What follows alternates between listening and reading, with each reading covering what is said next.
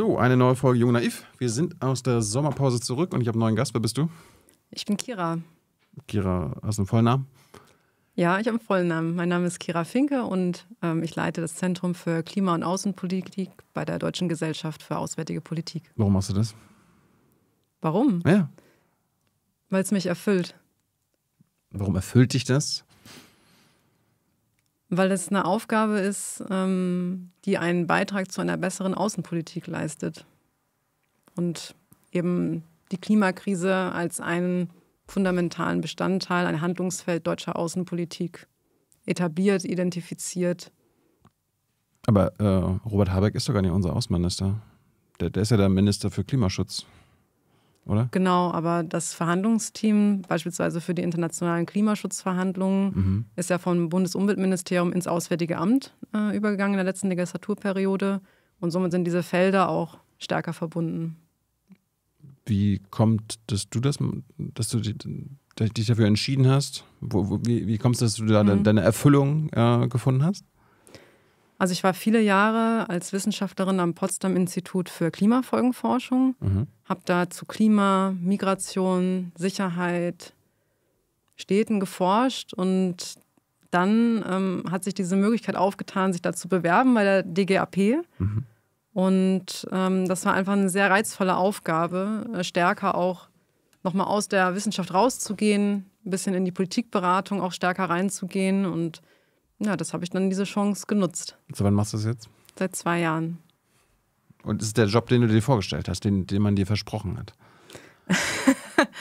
Ähm, also das, äh, ich hatte gar keine so eine konkrete Vorstellung davon, wie es genau wird. Aha. Ähm, Gab es keinen Vorgänger oder Vorgängerin, die dir das erklärt haben? Nein, das äh, Zentrum wurde neu gegründet und ähm, ich hatte dann die Gelegenheit, eben auch ein Team zusammenzustellen, ähm, das mit mir diese Aufgabe dann auch wahrnimmt und ähm, konnte dann auch interdisziplinär einstellen aus verschiedenen Fachrichtungen Leute, engagierte Leute, ähm, die auch mit Herzblut bei der Sache sind.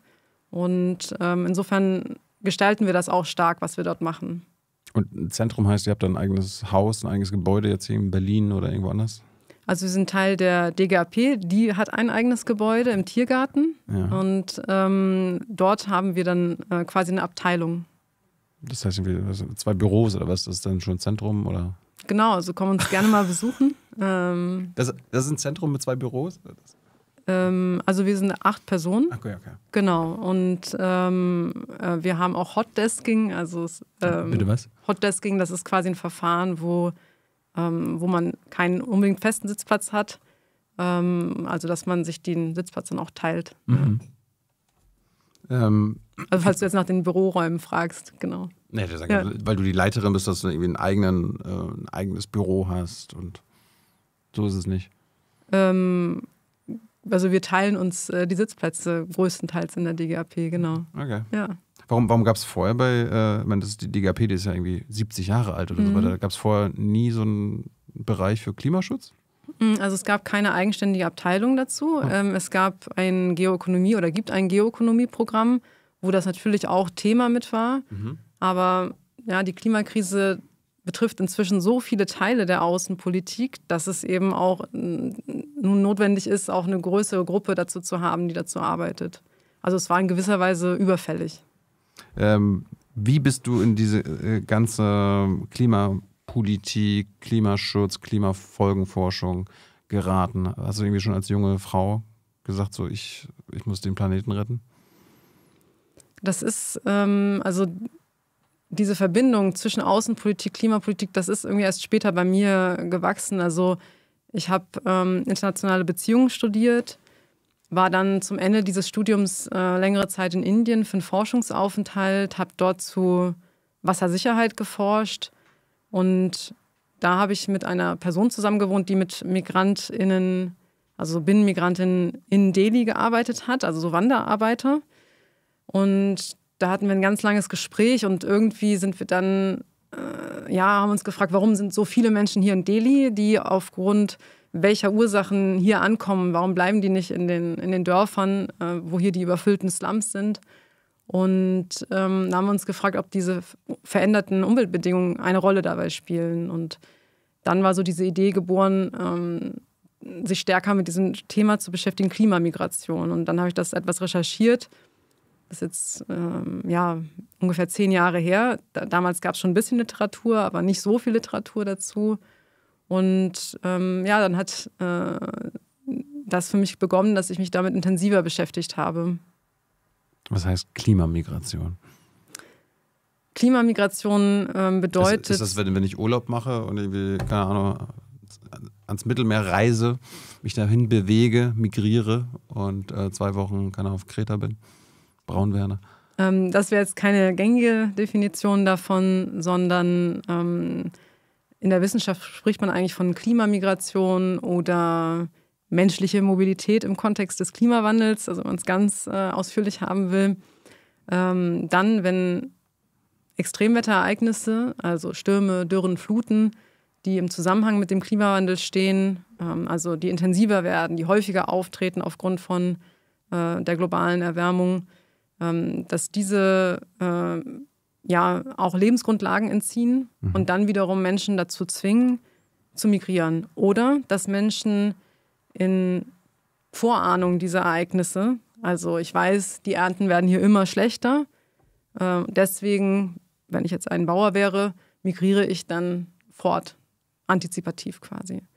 Auch das kann eine Migration sein. Und diese Migration erstreckt sich geografisch über unterschiedliche Skalen, vor allem innerhalb von Ländern. Und sie, ja, ist eigentlich, bewegt sich immer zwischen einer erzwungenen Migration und einer freiwilligen Migration. Hm.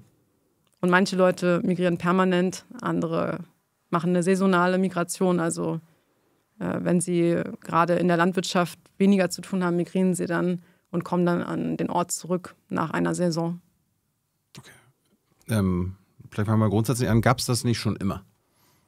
Also, dass Leute irgendwie wegen Extremwetterereignissen oder weil es irgendwie dann hier wärmer wurde, hier, äh, heiß wurde, irgendwie dann halt ihre Heimat gewechselt haben, beziehungsweise irgendwo anders hingegangen sind, wo man halt besser anbauen konnte. Ich genau. meine, keine Ahnung, mhm. ich, ich habe irgendwie in der Schule gelernt, die ersten keine, menschlichen äh, ähm, Gruppen mhm. und so weiter, die sind ja auch immer irgendwie gewandert über die Welt und so weiter und haben, mhm. haben halt da irgendwo äh, quasi, wurden da sesshaft, wo man am besten ernten konnte und so weiter und so fort. Genau, also Menschen sind natürlich schon immer migriert, mhm. ähm, auf unterschiedliche Art und Weise. Ähm, aber wenn ich von Klimamigration spreche, dann spreche ich von der Migration des menschengemachten Klimawandels, also den Veränderungen, die jetzt immer stärker auftreten aufgrund ähm, der globalen Erwärmung. Und ähm, das sind Veränderungen, ähm, die wir so als, auch als Homo sapiens quasi noch nicht erlebt haben. Also wir hatten jetzt ja zum Beispiel im Juli ähm, den heißesten überhaupt gemessenen äh, Monat, ähm, vielleicht sogar den heißesten äh, Monat äh, in der Zeitgeschichte des, des Homo sapiens. Und das bedeutet natürlich eine ganz starke Veränderung ähm, für, für uns. Und ähm, ähm, diese Migration verläuft natürlich nun auch oft in Gebiete, die schon besiedelt sind. Die Weltbevölkerung hat sich ja stark entwickelt, also eine stark gewachsene Weltbevölkerung. Und das ist eben auch noch ein Unterschied, ähm, dass es viel weniger äh, nicht äh, besiedelte oder wenig besiedelte Gebiete gibt als noch vor ein paar hundert Jahren. Aber es gibt, es immer noch genug unbesiedelte Gebiete, wo dann Menschen, denen es dann halt da, wo sie jetzt gerade sind, wahrscheinlich immer, es, es, geht wahrscheinlich immer darum, dass es denen zu heiß ist, ne? Ähm, oder gibt es auch irgendwie, dass es zu kalt ist oder zu, zu stürmisch, oder? Ähm, genau, also wenn zum Beispiel in der Bay of Bengal, also äh, an der Küste Bangladeschs etwa, mhm immer öfter extreme tropische Stürme auftreten mit hohen Sturmfluten, ähm, dann kann es sein, dass nach und nach Menschen wegziehen, weil zum Beispiel die Böden versalzen. Ja, das hat dann nicht unbedingt was mit Hitze zu tun, mhm. sondern einfach etwas mit eben dieser wiederkehrenden Zerstörung und dann den dauerhaften Effekten. Das ist ja alles Meerwasser, was dann rüberspült und dann versalzen die Böden, dann kann man da halt auch längerfristig nicht anbauen. Und ja, diese Migration verläuft dann eben nicht in dünn besiedelte Gebiete, sondern meistens in urbane Zentren, also in Städte, die sehr dicht besiedelt sind. Und diese Veränderung im Erdsystem, die wir momentan sehen, die läuft natürlich über eine ganz andere Zeitskala ab als vorherige Veränderungen, einfach weil wir auf unnatürliche Weise fossile Energien verbrennen und dadurch eben jetzt sehr, sehr viele extreme Ereignisse erzeugt haben, die jetzt in Erscheinung treten Also die Veränderungen laufen einfach deutlich schneller und wir haben einen sehr dicht besiedelten Planeten inzwischen. Und ähm, deswegen ist diese Migration, die im Kontext des Klimawandels passiert, schon ja, von, einer anderen, ähm, von einer anderen Dimension und ähm, kann eben auch ja, zu ähm, Herausforderungen führen, kann zu humanitären Krisen führen. Erklär uns mal, äh, du meinst, das ist eine andere, andere Art von Dimension, die wir mhm. erleben. Kannst du, kannst du das anschaulich machen? Ja, also zum Beispiel letztes Jahr hatten wir aufgrund von Naturkatastrophen 32 Millionen äh, Binnenvertriebene. Und ähm, das ist ein neuer Rekordwert. Äh, global, genau, global. Und ähm, das ist ein neuer Rekordwert. Im Vergleich zu, keine vor zehn Jahren waren es irgendwie noch die Hälfte oder wie, wie, irgendwie, keine Ahnung, mhm. letztes Jahr ist der Krieg in der Ukraine ausgebrochen. Mhm da sind ja Ukrainer dann hauptsächlich nach Westeuropa geflüchtet. Mhm, das Gibt, ist eine internationale Migration dann, genau. Das ja. ist ja keine mhm. Klimaflucht, aber es ist Gewalt oder äh, Kriegsflucht und so weiter. Genau. Kann, kannst du das in Relation setzen? Genau, also wenn wir jetzt die Binnenvertreibung ja. ähm, anschauen, dann sind die neuen Vertreibungen ähm, eher geringer als äh, in der Zahl ähm, als die Binnenvertreibung aufgrund von Extremwetterereignissen. Das sind ja nicht alles äh, Ereignisse, die dem Klimawandel zuzuordnen sind. Da muss man dann nochmal unterscheiden, ähm, weil natürlich auch im normalen Klima bestimmte Extreme auftreten. Aber, und das ist eben das Wichtige, ähm, sie treten jetzt in höherer Intensität, in größerer Häufigkeit auf und sie treffen auf immer dicht besiedeltere Gebiete. Mhm. Aber hast du Zahlen, wie viel, weil du gerade 32 Millionen durch Naturkatastrophen und so weiter mhm. gesagt hast, wie viel durch Kriege und Konflikte geflüchtet sind? damit man das in Relation ja, ja. setzen kann? Mhm. Genau, also zum Beispiel 2020 waren's, äh, waren Neuvertriebene ähm, ungefähr äh, 10 Millionen äh, Binnenvertriebene aufgrund von Konflikten und Gewalt und äh, ungefähr 30 Millionen aufgrund von Naturwetter, äh, Naturextremen, also mhm. Naturkatastrophen. Aber wenn die jetzt vertrieben wären, diese 10 Millionen und die 30 mhm. Millionen, also äh, kommen die dann auch mal wieder zurück? Weil ich meine, eine Naturkatastrophe, keine Ahnung, endet ja irgendwann. Keine Ahnung, der Sturm ist vorbei oder genau, wenn ja. das eine einmalige Sache ist oder angenommen ist eine einmalige Sache, mhm. kommen die meisten dann nicht wieder zurück in ihre Heimat. Also migrieren die dann dauerhaft oder nur kurz? Genau, also ähm, viele kehren zurück und viele haben auch den Wunsch zurückzukehren. Wenn wir zum Beispiel uns das Ahrtal anschauen in, in Deutschland, ähm, da wurden auch Menschen vertrieben, es sind auch Menschen gestorben. Und natürlich versuchen die allermeisten Menschen dann wieder zurückzukehren. Viele sind auch schon zurückgekehrt. Mhm. Und das ähm, wurde auch beispielsweise ermöglicht durch ähm, Versicherungsleistungen oder durch staatliche Hilfen oder aus Eigeninitiative heraus. Ähm, und ähm, das ist in anderen Ländern zum Teil auch möglich, äh, zum Teil aber eben auch nicht. Und je häufiger solche Art von extremen Ereignissen auftritt, desto schwieriger wird es, immer wieder wieder aufzubauen. Mhm. Und deswegen kann es dann auch zu permanenten Vertreibungen kommen in solchen Hochrisikogebieten. Und es kann auch Gebiete geben, und die werden ja beispielsweise auch im Ahrtal punktuell identifiziert, wo eben nicht wieder aufgewertet werden soll, weil es Überflutungsgebiete sind. Also wir hatten jetzt äh, anhand des Ahrtals auch schon deutsche Klimamigranten. Ja, also das, äh, die Ahrtalflut hm. ähm, wurde extremer durch ähm, den Klimawandel. Also gibt es Attributionsforschung, also Zuordnungsforschung, ähm, die dann herleitet, inwiefern diese globale Erwärmung die Eintrittswahrscheinlichkeit dieses Ereignisses, dieser, äh, dieser Extremniederschläge erhöht hat. Ähm, und ähm, das ist der Fall gewesen. Also wir hatten eine erhöhte Eintrittswahrscheinlichkeit. Das heißt, dieses Ereignis steht schon im Zusammenhang mit äh, dem Klimawandel. Und wenn Menschen dann fliehen müssen, auch wenn es jetzt relativ kurze Distanzen sind, ist das aus meiner Sicht eine Klimamigration, ja. Ich, ich, ich finde, das macht äh, eigentlich so wunderbar anschaulich, dass, ich meine, viele Menschen können halt mit, ähm, mit keine Ahnung, den Schicksalen der Menschen in Bangladesch weniger anfangen, mhm. als mit dem Schicksal der Menschen in, im Ahrtal. Aber wenn man, wenn man den, den Deutschen quasi oder den Europäern so sagen, so, äh, du hier, das, was in Ahrtal passiert ist, das passiert äh, im globalen Süden, in anderen Ländern viel, viel häufiger, nicht nur einmal im Jahr oder einmal im Jahrzehnt, sondern äh, immer wieder. Äh, ja, das, das Leid, der Schmerz ist natürlich der gleiche. der da passiert bei einem solchen Ereignis. Natürlich sind das ganz unterschiedliche Kontexte, unterschiedliche Kommunen, ja, die da betroffen sind. Es gibt unterschiedliche Hilfsmechanismen oder eben auch nicht.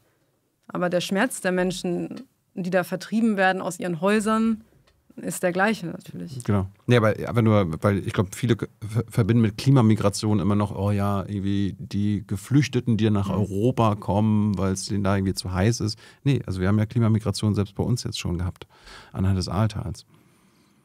Genau, also es ist Realität in sehr, sehr vielen Teilen der Welt schon. Hast du äh, das Ahrtal auch in dein, in dein Buch äh, untergebracht? Wie der Klimawandel uns Menschen die Heimat raubt? Ist er dann quasi auch aufs Ahrtal bezogen? Ja, ich habe auch ein Kapitel ähm, dazu drin. Ich habe auch mit Menschen vor Ort gesprochen, ähm, die ähm, ja, erhebliche Schäden erlitten haben, deren Familien auch vertrieben worden sind und ähm, ja, die bis heute mit dieser Situation zu tun haben und ähm, im Wiederaufbau.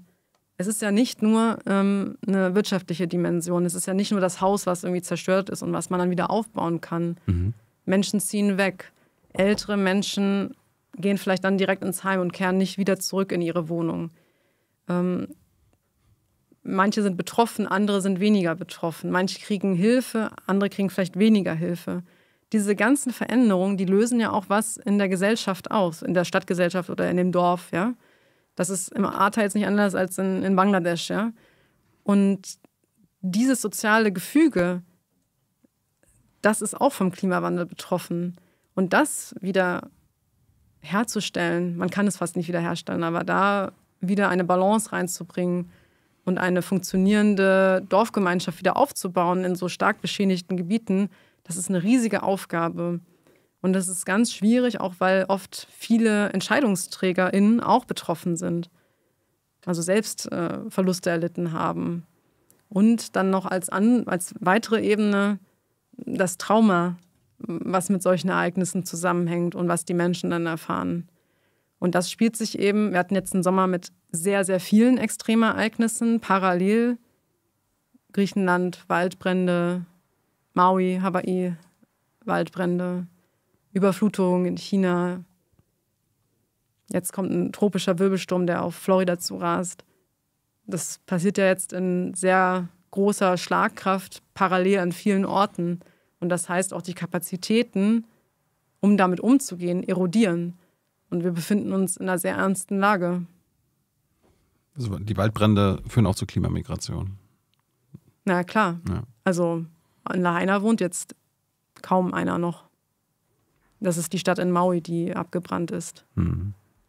Ähm, du meinst gerade, das löst etwas aus in der Gesellschaft und äh, zerstört soziales Gefüge was genau wird dort äh, zerstört, was, was, was für ein Ungleichgewicht entsteht durch so ein Unwetter, durch so eine Ereignisse die, wie im Ahrtal? Naja, also diese ganzen sozialen Bindungen, allein schon, wenn zum Beispiel mehrere Familien wegziehen und andere da bleiben, dann fehlt ja erstmal was, ja. Oder ähm, äh, den Wiederaufbau überhaupt erst zu leisten das alles ähm, ist, ja eine, ist ja eine zusätzliche Belastung. Und äh, wenn wir jetzt nochmal äh, in andere Bereiche reinschauen, also zum Beispiel nach Bangladesch, wo viele Menschen gezwungen sind zu migrieren, zum Teil, sie haben mit vielen Menschen gesprochen in urbanen Slums, die eben auch einfach migriert sind, ohne irgendwelche Ressourcen, also einfach nur mit dem, was sie am Leibe getragen haben und die dann versuchen, in der Stadt irgendwie zu überleben. Und das sind Menschen, die leben von der Hand in den Mund. Also was sie am Tag verdienen, konsumieren sie am Tag, um irgendwie zu überleben, weil sie halt ständig eigentlich äh, Hunger leiden. Und diese Menschen haben eben keine paar hundert Euro ähm, in der Bank oder zu Hause rumliegen, um sich über Wasser zu halten, wenn sie kein Einkommen haben. Und das bedeutet dann, dass wenn sie so ein Extremereignis erleiden, dass sie dann in die Stadt migrieren und dann dort versuchen zu überleben, beispielsweise indem sie ähm, Kredit aufnehmen, kleinen Kredit aufnehmen. Bei einem Slumlord, bestenfalls bei einer, äh, bei einer kleinen Bank, ja. Aber sie fallen auf jeden Fall dann in Schuld. Und das kann dann auch wiederum zur Schuldknechtschaft führen, aus der sie sich dann kaum noch äh, befreien können. Also wir haben eigentlich eine Situation, wo wir durch die Migration, die durch den Klimawandel stark verstärkt wird, aus den ländlichen Gebieten heraus, ja, im Prinzip eine, eine neue urbane Unterschicht bilden ähm, in, den, in den Städten, in den Slums der Welt. Nochmal zurück zum Ahrtal. Ich glaube, da haben wir noch keine Slumlords, äh, beziehungsweise Menschen, die aus dem Ahrtal geflüchtet sind. Mhm. Haben, ja so nicht in Deutschland mit Slumlords zu tun, aber äh, wir werden ja ab, auf absehbare Zeit immer wieder auch so eine Starkwetterereignisse und Extremwetterereignisse in Deutschland haben. Also wahrscheinlich vielleicht irgendwann mal jedes Jahr ein Ahrtal-Ereignis. Äh, müssen wir uns dann vielleicht auch dran gewöhnen, dass äh, sowas passiert und dass wir immer wieder neu aufbauen müssen. Dass halt nicht mehr so wie in den letzten 70 Jahren so alles so bleibt, wie es ist. Und äh, man, wenn man etwas hat, dann bleibt das auch. Sondern dass wir uns auch als Gesellschaft darauf einstellen müssen, dass wir lernen müssen, es kann auch bald weg sein. Es wird auf jeden Fall schlimmer werden. Also darauf müssen wir uns auf jeden Fall einstellen. Ähm, der Weltklimaratsbericht sagt ja in allen Emissionsszenarien voraus, ähm, dass wir auf jeden Fall die 1,5 Grad Grenze erreichen werden. Das vielleicht schon relativ bald. Also haben noch eine weitere Erwärmung vor uns. Sie sind jetzt bei ungefähr 1,2 Grad globaler Erwärmung. Auch die Bundesregierung meint immer noch, dass wir das 1,5 Grad Ziel schaffen können. Also, dass wir diese Grenze erreichen, ist klar. Nee, nee, also, aber dass, dass äh, sie immer noch eine 1,5 Grad Politik macht. Mh. Genau, also die Frage ist, ähm, schafft man es bei 1,5 oder 2 Grad irgendwie zu stabilisieren oder schafft man das nicht? Aber unabhängig davon haben wir jetzt, wir sind ja momentan erst bei 1,2 Grad Erwärmung, haben wir dann noch 0,3 Grad vor uns. Das hört sich jetzt erstmal wenig an, macht aber einen großen Unterschied, ähm, mhm. wenn man jetzt von den Extremereignissen äh, das betrachtet. Das heißt, werden zunehmend Stürme, Extremniederschläge, äh, Hitzewellen haben. Und darauf äh, müssen wir uns einstellen, ja, darauf müssen wir uns anpassen.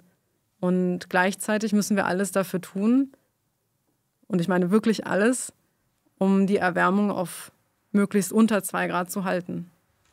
Und danach sieht es dann nicht aus. Ja, danach sieht es nicht aus, ja. Da gebe ich dir recht. Ich glaube, wir sind, glaube ich, auf so einem 3 Grad, 3,9 Grad äh, Fahrt, was der Expertenrat für Klimafragen äh, gerade aufgezeigt hat. Aber ich hatte ja gefragt, muss, muss quasi auch eine Politik in Deutschland, wenn wir jetzt mal bei, bei Deutschland bleiben, weil wir auch Klimakatastrophen haben werden, muss die Politik auch der Gesellschaft beibringen, äh, das kommt jetzt öfter. Und wir müssen lernen, dass es äh, Klimamigranten in Deutschland geben wird, dass äh, Sachen zerstört werden und wir halt wieder neu aufbauen müssen. Es gibt, also es stehen uns natürlich noch verschiedene Zukünfte offen. Wir werden auch durch Technologien vielleicht mehr Möglichkeiten haben, uns anzupassen. Mhm. Aber dieser Spielraum schwindet, je höher wir in der Erwärmung gehen. Das heißt also, wenn wir es schaffen, die Emissionen jetzt wirklich schnell zu senken und dann möglichst bald auch auf Null zu senken, dann denke ich schon, dass wir eine positive Zukunft vor uns haben, dass auch die Kinder unserer Generation eine positive Zukunft haben. Aber klar gibt es auch Länder, wie zum Beispiel die kleinen Inselstaaten, die jetzt schon unter einem enormen Druck stehen. Also beispielsweise die flach liegenden Korallatolle, Pazifik, ja, Tuvalu, Marshall Islands, Malediven. Und diese Länder haben auch wenig Möglichkeiten, sich an diese Extreme anzupassen, auch schon bei 1,8 Grad. Ja. Das heißt, ich sehe da schon auch eine moralische Verpflichtung, ähm, mehr Menschen die Möglichkeit zu geben, sich A vor Ort anzupassen, also mehr zu investieren in Anpassung aber auch gleichzeitig äh, sichere Migrationswege zu schaffen. Ich wollte auf die, auf die globale Ebene kommen, wollte ich gleich kommen. Ich, wollte, mm, ich, bin, okay, ja. ich bin, mm. bin, bin, bin noch in Deutschland. Ja, mm. Also äh, muss die Politik der deutschen Bevölkerung, der europäischen Bevölkerung klar machen, äh, auch bei uns wird es jetzt immer häufiger brennen. Leute werden flüchten müssen, Dinge werden zerstört werden und wir müssen das jetzt immer wieder aufbauen, aufbauen, aufbauen. Damit es halt nicht zu äh, neuen Unterschichten, wie, im, wie du ja gesagt mhm. hast, in Bangladesch kommt, damit nicht Slumlords, keine Ahnung, in Berlin und Hamburg irgendwann äh, das Sagen haben. Mhm. Auch bei uns wird es äh, zu immer größeren Schäden kommen, klar. Ähm, auch wir haben vulnerable Gebiete, also Küstengebiete, ähm, die, die stark äh, betroffen schon sind. Mhm. Und wir haben große Trockenheit in Deutschland. Ist diesen Sommer jetzt nicht so extrem gewesen, aber in den Sommern davor und die unteren, tieferen äh, Bodenschichten sind eben auch noch äh, immer noch trocken. Und natürlich hat da auch die Bundesregierung eine Rolle, ähm, die Bevölkerung darüber in Kenntnis zu setzen. Ne? Aber die Verantwortung äh, liegt auch bei den Kommunen, ähm, Anpassungen zu leisten. Also ähm, ja, Ris also Risiken zu reduzieren, ähm, vielleicht auch mehr in den Katastrophenschutz zu investieren. Da ist ja auch ähm, nicht alles gut gelaufen im Ahrtal. Und äh, wir müssen zu einem Punkt kommen, wo wir besser vorbereitet sind, ähm, auf städtischer Ebene, aber auch individuell mit solchen Risiken umzugehen, sie besser also einzuschätzen. Wie denn? Na, das fängt jetzt, wenn wir zum Beispiel Hitze, äh, Hitzewellen betrachten, ähm, das fängt bei so wirklich banalen Dingen ein, wie, an, wie zum Beispiel mehr trinken, ähm, äh, Schutz suchen bei Hitze. Ähm, wir hatten äh, Zehntausende von Hitzetoten schon in Deutschland in den letzten Jahren über die Sommer. Das äh, vergisst man oft. Das wird oft in der Debatte vergessen. Und ähm, das kann mit Verhaltensveränderungen einhergehen, weil wir es einfach nicht so gewöhnt sind hier. Da sind andere Länder schon natürlich aus äh, einfach auch aus ihrer geografischen ähm, Situation heraus äh, anders aufgestellt als wir. Ähm, und da müssen wir auch Verhaltensänderungen durchführen, aber auch zum Beispiel ähm, ja einfach auch die Infrastruktur verändern, also stärker auch noch begrünen ähm, dass äh, es sich nicht so sogenannte urbane Hitzeinseln, also ein Hitzestau in der Stadt bildet. Das alles können Anpassungsmaßnahmen sein. Genauso bei Extremwetterereignissen, ne? also Schwamm, Schwammstädte, die mehr Wasser auch speichern können, aufnehmen können. Hm. Nicht so starke ähm, Bodenversiegelung. Gibt es viele, viele Dinge, ähm, die da äh, Anwendung finden. Das ist ein ganzes, also man muss da einen ganzen Strauß von, von Dingen anwenden. Du, du hast gerade die Trockenheit und Dürre angesprochen. Ich habe ähm, letztens mir den, es gibt ja diesen Dürremonitor mhm. vom Helmholtz-Institut, äh, äh, und der zeigt irgendwie so Ostdeutschland, gerade Brandenburg, die sind ja immer noch krass betroffen. Also selbst im Juli, als es so viel geregnet hat, die, die, die Dürre ist immer noch super krass. Ähm, wir haben ja auch in Brandenburg, in Ostdeutschland, viele ähm, Bauern immer noch, also Landwirte, mhm. Landwirtschaftsbetriebe und so weiter. Irgendwann könnte es so weit sein, dass die Boden zu trocken sind äh, wenn wir dann da auch irgendwie so Verteil Bodenverteilungsprobleme bekommen, dass dann quasi entweder diese Landwirte gen Westen migrieren müssen oder wollen, oder brauchen wir dann irgendwie genmanipulierte Pflanzen, die dann quasi dort noch in, diesen, in dieser Steppe äh, wachsen können? Sind das auch Anpassungsmaßnahmen? Also Migration kann auch eine Anpassungsmaßnahme sein, klar. Mhm. Ähm, aber es gibt natürlich auch viele andere Dinge, eben äh, andere Sorten anzupflanzen, die man tun kann. Ähm, Bewässerung, moderne Bewässerung. Ähm, ja, das Wasser ist ja knapp. Genau, aber es gibt ja zum Beispiel auch neue Techniken wie zum Beispiel Precision Agriculture, also so Präzisionslandwirtschaft, wo man eben ähm, auch über ja, äh, digitale Anwendungen dann besser identifizieren kann, welche, was, welche Pflanzen wann zu äh, bewässern oder zu düngen sind, dass mhm. man eben nicht mehr so viel Ressourcen einsetzen muss. Das sind, ähm, das sind Dinge, die man tun kann.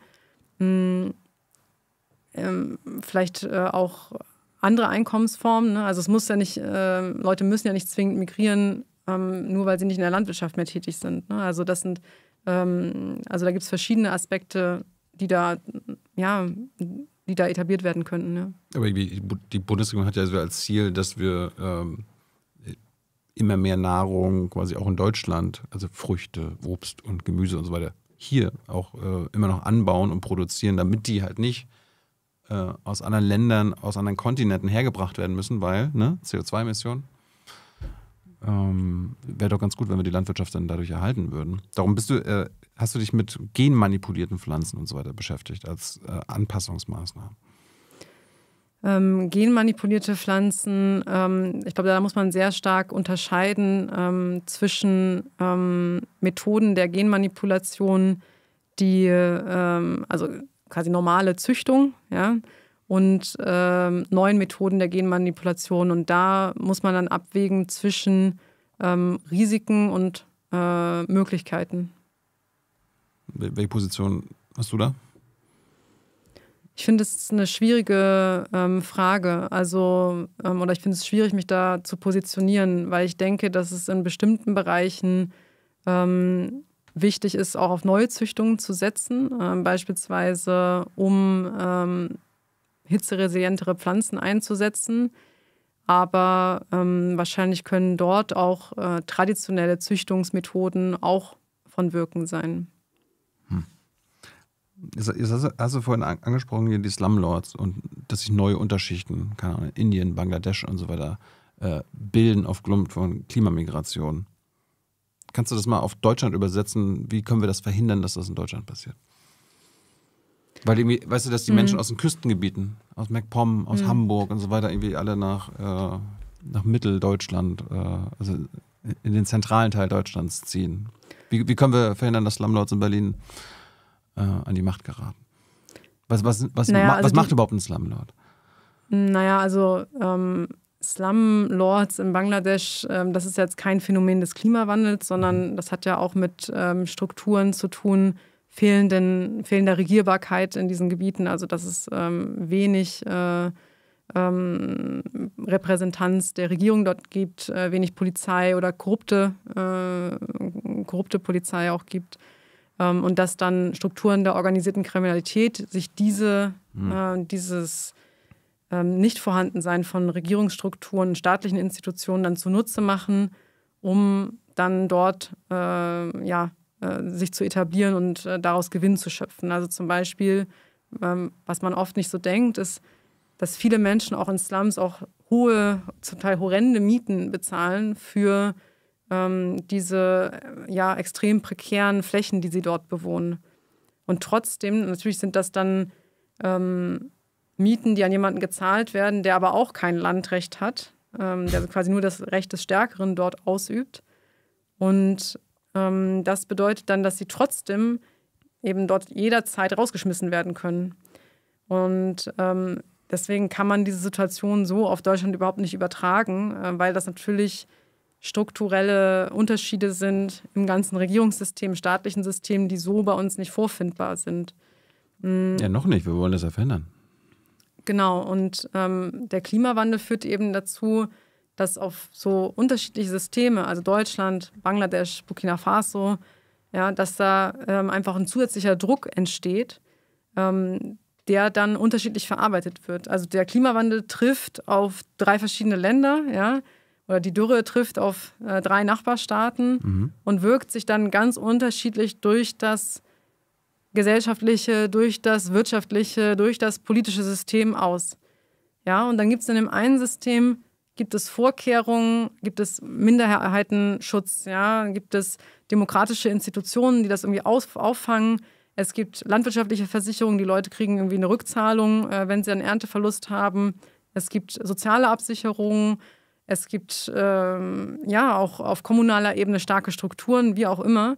Ähm, es gibt keine Armut, es gibt äh, bessere Bildungschancen etc. etc.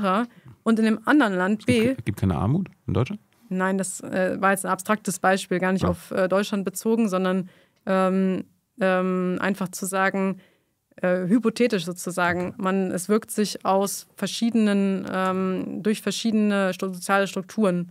Ja, wenn wir jetzt ein Dorf nehmen im Land A und das andere im Land B mhm. und in dem anderen Dorf ist alles anders oder im anderen Land ist alles anders. Es gibt ein repressives Regime, es gibt keine landwirtschaftlichen Versicherungen und ähm, der Klimawandel trifft auf, und es gibt große Armut, ja. Und dann kann es eben dazu führen, dass in dem einen Land Instabilität entsteht und in dem anderen Land wenig passiert, auch wenn die Ereignisse ähnlich extrem sind.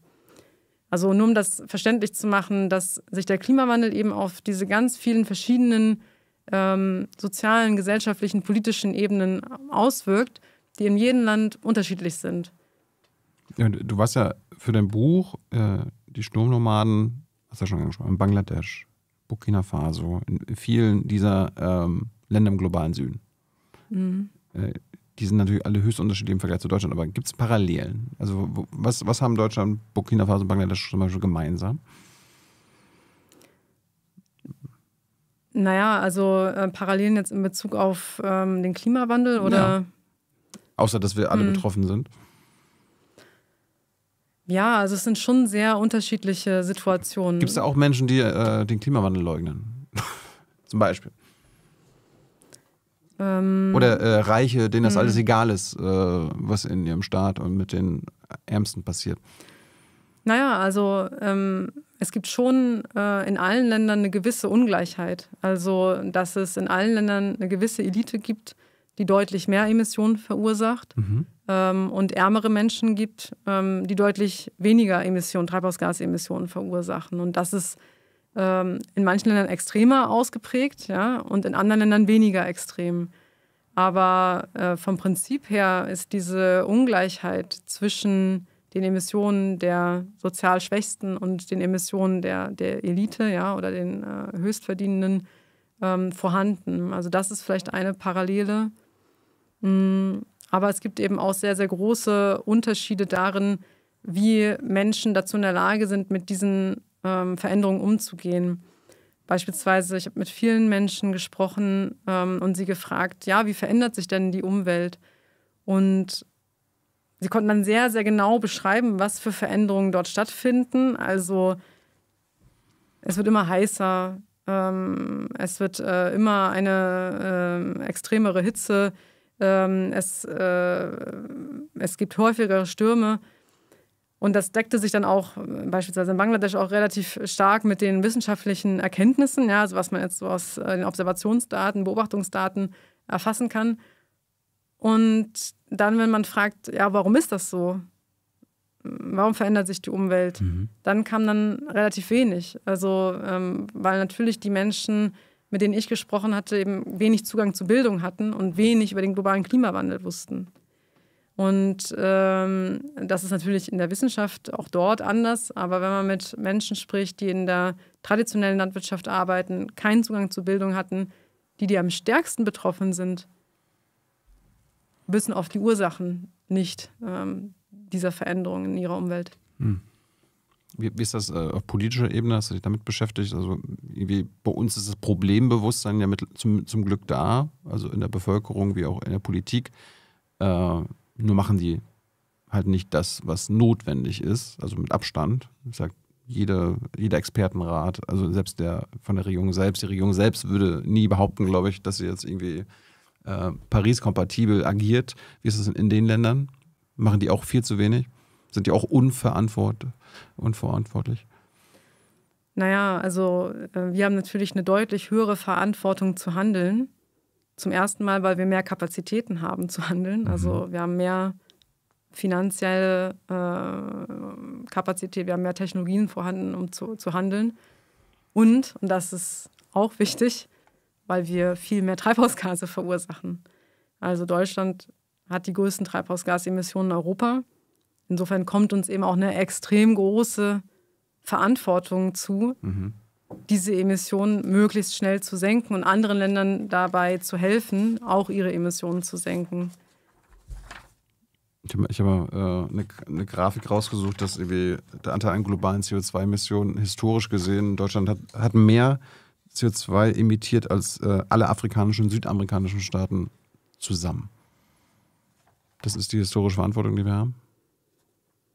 Ja, also wir haben eben diesen sehr großen historischen und aktuell auch immer noch recht hohen CO2-Fußabdruck. Es gibt jetzt bestimmt Leute im Chat, die sagen, ja, Kira, also äh, Deutschland macht ja nur 2% oder so weiter jährlich aus. Das ist doch, guck mal China. Ja, klar. Und äh, das sagen Leute in Österreich uns gegenüber auch. Also warum sollen wir äh, die Emissionen senken und während Deutschland das nicht senkt? Ne? Und so kann man dann sich gemeinsam entscheiden, dass wir alle gemeinsam gar nichts tun. Genau, das ist ja der Status quo. Naja, also ein bisschen was hat sich ja schon geändert. Ähm, klar kommt dieses Argument immer wieder, dass wir nur 2% der, äh, am Anteil der Gesamtemissionen haben momentan. Aber erstens entspricht das nicht unserem Anteil an der Weltbevölkerung, der ist also deutlich niedriger. Und gleichwohl ist es eben so, dass äh, wenn alle, also 100 Prozent der Emissionen sich auf knapp 200 Staaten aufteilen, natürlich jeder einzelne Staat nur einen relativ geringen Anteil.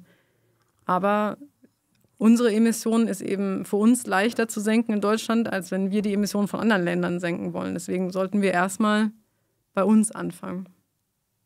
Gerade mit Hinblick auf die Grafik, die du gerade nochmal gezeigt hast. Hm. Aber ich glaube, ich glaube so, äh, das wird halt mal gerne negiert, auch von Menschen hier in Deutschland, selbst die, die halt nicht den Klimawandel an sich leugnen, aber dann so sagen, so, ja, ja, aber solange die anderen nicht mitmachen, müssen wir auch nicht anfangen. Und du sagst aber, wir müssen vorangehen und äh, erst recht anfangen. Und nicht auf China warten oder auf die Amerikaner, also auf die noch größeren Emittenten. Auf jeden Fall müssen wir vorangehen. Also es, ähm, äh, ich glaube, diese Frage ähm, ist auch schon geklärt seit dem Pariser Klimaabkommen, ähm, dass alle Staaten sich darauf geeinigt haben, äh, ihre jeweiligen Emissionen zu senken und sich verpflichtet haben dazu und die Emissionen zu reduzieren. Und wir haben ja auch unsere Emissionen in Deutschland schon reduziert, nur es geht halt viel zu langsam. Und wir müssen das nun beschleunigen, einfach ähm, weil wir sonst eine Reihe von Extremereignissen, Kippelementen im Erdsystem, eine Reihe von Veränderungen im Erdsystem lostreten, die wir nicht mehr managen können. Und äh, wir sehen ja jetzt schon über diesen vergangenen Sommer, wie groß die Extremereignisse werden, äh, wie schwierig es ist, damit umzugehen, wie schwierig der Wiederaufbau ist und wie schnell wir an unsere Grenzen geraten. Und klar können wir unsere Katastrophenvorsorge noch stärken, aber ähm, it's a losing game. Ne? Also wenn wir immer schlimmere Ereignisse haben, mhm. äh, reicht es nicht aus, immer weiter in Anpassungen zu investieren, sondern wir müssen in die Prävention rein. Und das ist, glaube ich, eine ganz, ganz wichtige Erkenntnis, dass ähm, wenn Ursache und Wirkung so zeitversetzt sind, ähm, dass wir dann eben nur durch eben die Wissenschaft die Möglichkeit haben, die Spätfolgen unseres Handelns zu erkennen. Das haben wir jetzt durch den Weltklimaratsbericht ja, oder die Berichte. Und dann eben diese Zeit nutzen müssen, um in Prävention zu investieren. Weil wir nicht die gleiche Anzahl von Menschen schützen können durch Anpassungsmaßnahmen wie durch Prävention. Du, du hast gerade quasi äh, angesprochen, dass wir unsere, also Deutschland jetzt die CO2-Emissionen gesenkt hat äh, ist ja historisch unter anderem dadurch bedingt, dass es eine Deindustrialisierung in Ostdeutschland gab, infolge der Wende. Und gleichzeitig, äh, dass aber auch viele Konzerne, also quasi CO2 starke Konzerne einfach abgewandert sind in den globalen Süden. Also keine Ahnung, die bauen dann ihre äh, nächste Fabrik, wo viel CO2 emittiert wird, in Bangladesch auf oder in China und so weiter. Äh, bringt das dem Klima was, wenn quasi weniger in Deutschland emittiert wird, aber dafür die Fabrik dann in Bangladesch durch den deutschen Konzern betrieben wird? Ähm, also ähm, du hast recht, dass dadurch auch die Emissionen gesunken sind, dass äh, Industrie abgewandert ist. Aber es gibt inzwischen in Deutschland auch eine Entkopplung von Wirtschaftswachstum und äh, Emissionen. Das heißt, äh, wir haben unsere Emissionen gesenkt und unsere Wirtschaft wachsen lassen. Das heißt, ähm, dass, ähm, dass jetzt nicht die, eine Deindustrialisierung per se ähm, stattgefunden, also Grund für die Emissionssenkung ist. Ähm, das ist ein Teil davon, aber es gibt eben auch inzwischen die Entwicklung, äh, dass wir Wirtschaftswachstum haben und die Emissionen senken, was ein, eine super super Sache ist. Es ist eine relative Entkopplung. Das reicht halt mhm. äh, vorne und hinten nicht. Also ich habe von meinen Klimawissenschaftlern mhm. gelernt, wir brauchen eine absolute Entkopplung. Genau, ja. Und das da, haben, da, da, sind wir auf, auf, kommen wir nie und nimmer hin. Also wir müssen die Emissionen auf möglichst schnell auf Null senken. Mhm. Ähm, und das, es zählt eben der, äh, also sozusagen der Bereich unter der Kurve. Ja? Also je schneller wir runtergehen, ähm, ähm, desto äh, besser für die Atmosphäre. Mhm. Und ähm, um das zu erreichen, bedarf es natürlich einer wirklich intensiven Transformation und damit eben genau das äh, nicht passiert, was du gerade skizziert hast, also diese ähm, Abwanderung von Industrien sollen ja auch bestimmte Industriesektionen ähm, auch geschützt werden durch den sogenannten Carbon Border Adjustment Mechanismus. Bitte was? Ähm, das ist äh, im Prinzip ähm, eine äh, zusätzliche Erhebung von ähm, äh, Tarifen für importierte Güter, die eben nicht klimaneutral produziert worden sind.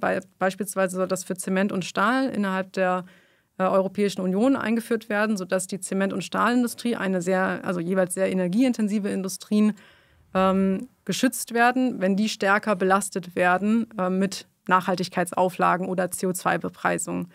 Und damit dann nicht äh, diese Industrie abwandert, werden ähm, Einfuhren, äh, die eben nicht solchen hohen Standards unterliegen, dann entsprechend bepreist ähm, und somit eben ähm, ja, eine, eine solche Abwanderung verhindert. das ist der Gedanke dahinter.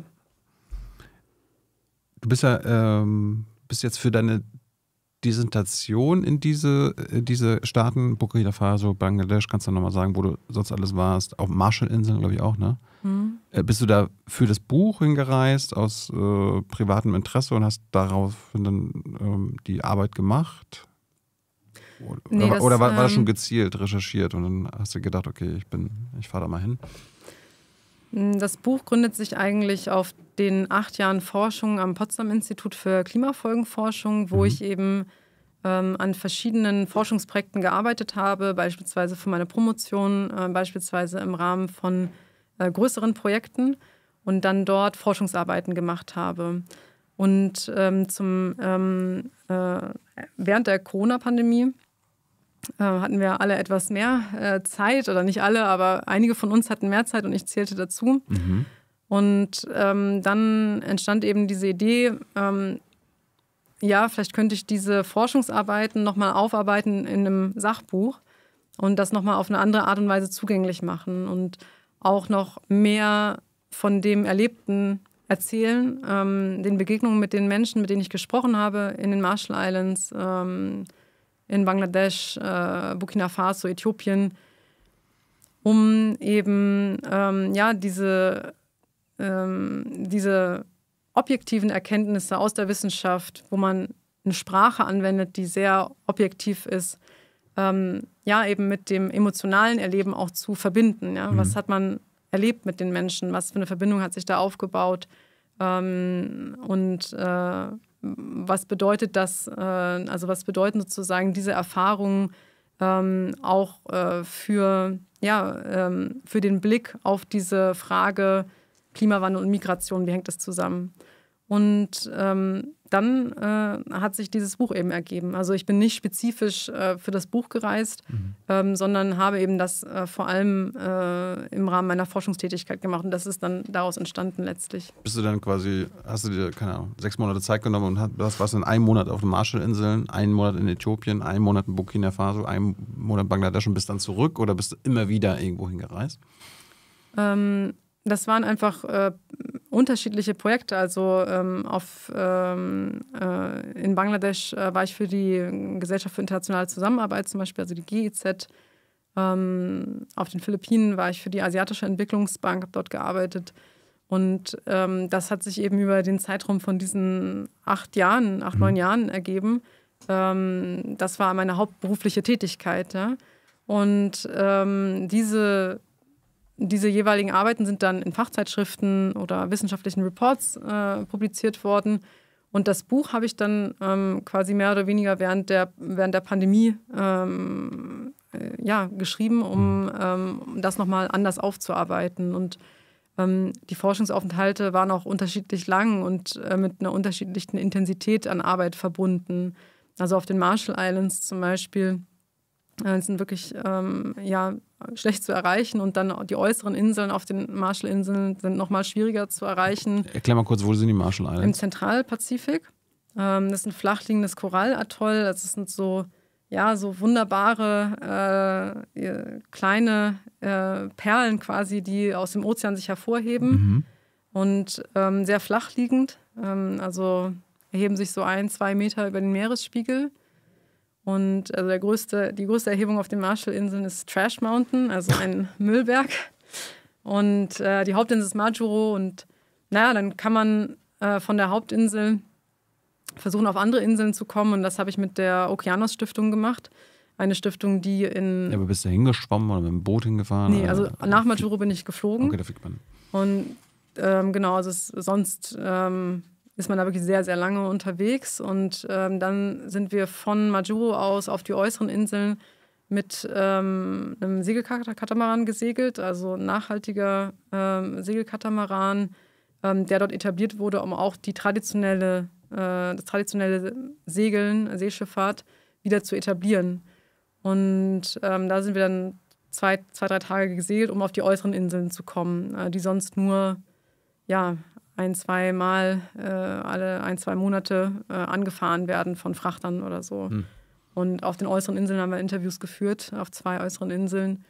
ähm, und mit Menschen gesprochen und ähm, Was für eine Sprache sprechen die? Marshallese. Ähm, also ich hatte dann immer einen Übersetzer dabei. Marshallese. Ja. Okay. Ja, also eine Person aus unserem Team, äh, die dann übersetzt hat Mhm. ähm, und die mir geholfen hat. Und ähm, Ist das ein eigener Staat, die Marshall? ja, mhm. Okay. Ähm, wie wahrscheinlich ist das, dass es die Marshallinseln bald nicht mehr geben wird? naja, das ist abhängig von dem Verhalten der Industriestaaten. Also Na, St- Stand jetzt sieht es also aus, drei bis vier Grad. Das heißt, der Meeresspiegel wird äh, einige Meter, also äh, Stefan Ramsdorf war auch schon mal hier zu Gast vom, vom PIC, mhm. äh, wird einige Meter äh, steigen. Dann wird es die Marshallinseln in dieser Form nicht mehr geben. Also ähm, um die Kleininselstaaten zu schützen, braucht es eine Begrenzung der globalen Mitteltemperatur von 1,5 Grad. Was äh, stand jetzt, also der Weltklimarat hat ja letztens, glaube ich, vor ein paar Monaten gesagt, das äh, werden wir jetzt noch dieses Jahrzehnt erreichen. Ist gar keine Frage mehr. Das heißt, die Marshallinseln sind so gut wie weg. Wissen die das? Ja, also ähm, natürlich gibt es ähm, auf politischer Ebene das Wissen darüber. Ähm, und deswegen wird ja auch von den Kleininselstaaten das massiv eingefordert, ähm, die globale Mitteltemperaturerwärmung auf 1,5 Grad zu begrenzen. Und ähm, dass das gelingt, ja, ist inzwischen sehr unwahrscheinlich, ähm, weil alles so weitergeht wie bisher, mehr oder weniger. Und ähm, deswegen ist, denke ich, auch diese Aufgabe, da haben wir unser Gespräch mit angefangen, Klima- und Außenpolitik zusammenzudenken. Und die Legitimität für Klima-Außenpolitik entspringt ja aus der Klima-Innenpolitik, Mhm. eine so wichtige. Und ähm, deswegen äh, denke ich, ist es auch wichtig, da stärker auch zusammenzuarbeiten mit anderen Staaten, um eben diese Ziele zu erreichen, ja, also Emissionsminderungsziele. Dass das immer wa- unwahrscheinlicher wird, ähm, äh, da stimme ich dir vollkommen zu. Aber in einer solch dramatischen Situation, in der wir uns befinden, darf es keine Rolle spielen, ähm, ob wir sozusagen die, ähm, äh, die oder vielleicht äh, vielleicht kann ich es anders formulieren, in einer solch dramatischen Situation müssen wir einfach alles tun, was in unserer Macht steht, um die Krise noch abzuwenden, ähm, um eben äh, die schlimmsten Folgen noch zu verhindern. Wo genau sich das Klima stabilisiert und ob wir, welche Gebiete wir schützen können, ähm, das ist sehr schwer abzuschätzen. Wir wissen aber, je mehr Erwärmung wir ins Erdsystem reinholen, desto schlimmer werden die Folgen. Deswegen sollten wir auf der Seite der Vorsicht äh, uns, uns sozusagen stellen und versuchen, so weit wie möglich die Emissionen zu, zu reduzieren, so schnell wie möglich. Ich, meine, ich, ich spiele natürlich hier ein bisschen den äh, Advocatus Diaboli, aber das hört sich schon sehr naiv an von dir jetzt. Äh, zu, zu hoffen, dass die, ähm, die Industriestaaten ihrer Verantwortung endlich gerecht werden, obwohl wir seit 50 Jahren genau das Gegenteil sehen. Und die eher quasi noch den kleinen Staaten zwar jetzt nicht auf, äh, auf öffentlicher Ebene, aber eigentlich den Mittelfinger zeigen und sagen, wir machen hier lieber weiter. Wir retten lieber unsere eigene Haut, unsere eigene Bevölkerung äh, die Kapitalinteressen unserer Industrie, anstatt auf irgendwelche Marshallinseln Rücksicht zu nehmen. Da ist nur. Das ist die Realität, oder? Naja, da ist ein Denkfehler natürlich drin, weil wir unsere eigene Industrie äh, nicht werden retten können, so wie du es äh, sagst, wenn ganz Deutschland nachher so aussieht wie das Ahrtal und der Rest der Welt auch. Ne? Also dann äh, hilft es uns auch nicht, ähm, dass wir weiterhin hier äh, die wir, Gaskraftwerke aber, aber wir betreiben. denken halt, wir denken halt kurzfristig. Wir denken äh, in Kapitalströmen. Wir müssen äh, unser Wachstum sichern von Jahr zu Jahr. Nicht, was in 20, 30 Jahren ist. Das ist ja die Realität. Ähm, ich glaube, da gibt es sehr viele Unterschiede. Also ich glaube schon, ähm, dass wir in der Lage sind, auch langfristig zu denken und auch diese Risiken wahrzunehmen und entsprechend auch zu handeln. Und dass es diese Möglichkeit noch gibt, zu intervenieren, diese Möglichkeit müssen wir ergreifen. Also, und ich glaube schon, dass äh, es auch ähm, ja, durch den Druck der Zivilbevölkerung auch der politische Wille dafür erzeugt werden kann, durchgreifende, äh, transformative Maßnahmen, also Energiewende äh, schneller, äh, schneller voranzutreiben. Ähm, alle diese Maßnahmen, äh, Verkehrswende, Bauwende, ja, all diese Maßnahmen zu ergreifen. Die, die, die Lösungen hm. sind ja klar. Ja. Mhm. Aber warum machen wir das nicht? Ja, das ist die große Frage. Ähm, und ähm, da ist auch natürlich wieder eine sehr komplexe Antwort dahinter. Warum machen wir es nicht? Ähm, also die eine Antwort ist, dass es eine sehr starke Lobby äh, gab und gibt, die versucht, diese Transformation zu verhindern oder zumindest zu verlangsamen. Und es gibt viele Studien, die zeigen, dass äh, fossile Energieunternehmen wie zum Beispiel äh, ExxonMobil oder BP also Ölunternehmen, schon sehr lange vom Klimawandel wussten, ihre eigenen Wissenschaftler auch finanziert haben, äh, da Studien zu erstellen in diesem Bereich und gleichzeitig Desinformationskampagnen gefahren haben, um die ähm, allgemeine Öffentlichkeit irre zu, irre zu führen. Und ähm, das ist die Klimaschmutzlobby. Annika Görres war mal hier mhm. zu Gast. Ja. Ähm, quasi das, oder wie, wie ähm, Claudia Kempfert sagen würde, das fossile Kapital. Genau. Und ähm, das immer noch das 20 bis 100-fache mehr Geld hat, äh, zur Verfügung hat für PR und so weiter als die Klimaschutzlobby, also die nicht fossile Lobby. Genau, also das ist eben äh, eine der großen Herausforderungen, ähm, dass diese spezifischen Interessen eben mit äh, einer, äh, einem großen finanziellen und einer großen politischen Macht damit letztlich auch ähm, ausgestattet sind. Und ähm, diese, ähm, diese Verquickung hat eben dafür äh, gesorgt, dass es immer größere Verzögerungen in der Transformation gab.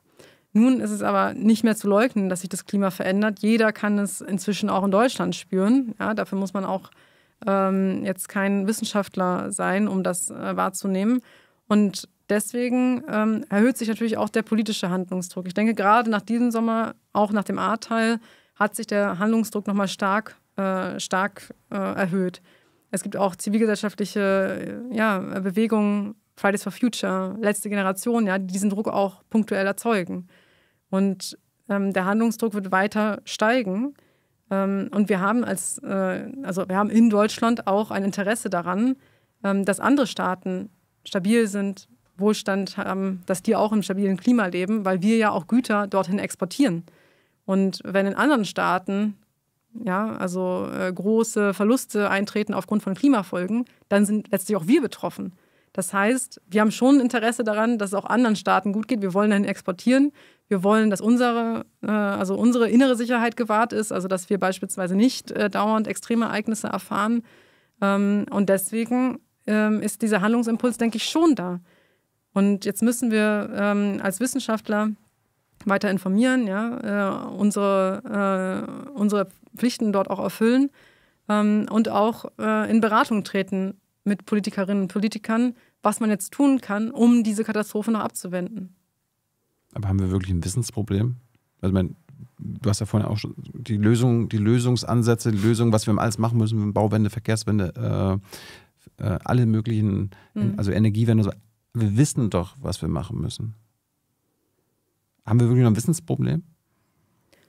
Ähm, ich glaube schon, dass wir noch ein Wissensproblem haben, insofern, als dass ähm, ich oft die Erfahrung mache, wenn ich Vorträge halte und gerade über diese etwas zeitversetzten Wirkungen, also dass alle wissen, der Klimawandel ist da, aber was sie da wirklich gerade lostreten im Erdsystem, ich glaube, das ist vielen nicht klar, wie, wie dick es irgendwie kommen kann und wie, ähm, wie klein unsere Anpassungsmöglichkeiten dann noch sind und wie viele Menschen auch vertrieben werden können. Und da habe ich oft die Erfahrung gemacht, dass Menschen auf mich zukommen nach, nach den Vorlesungen oder nach den Vorträgen und sagen, ich wusste nicht, dass es so schlimm ist.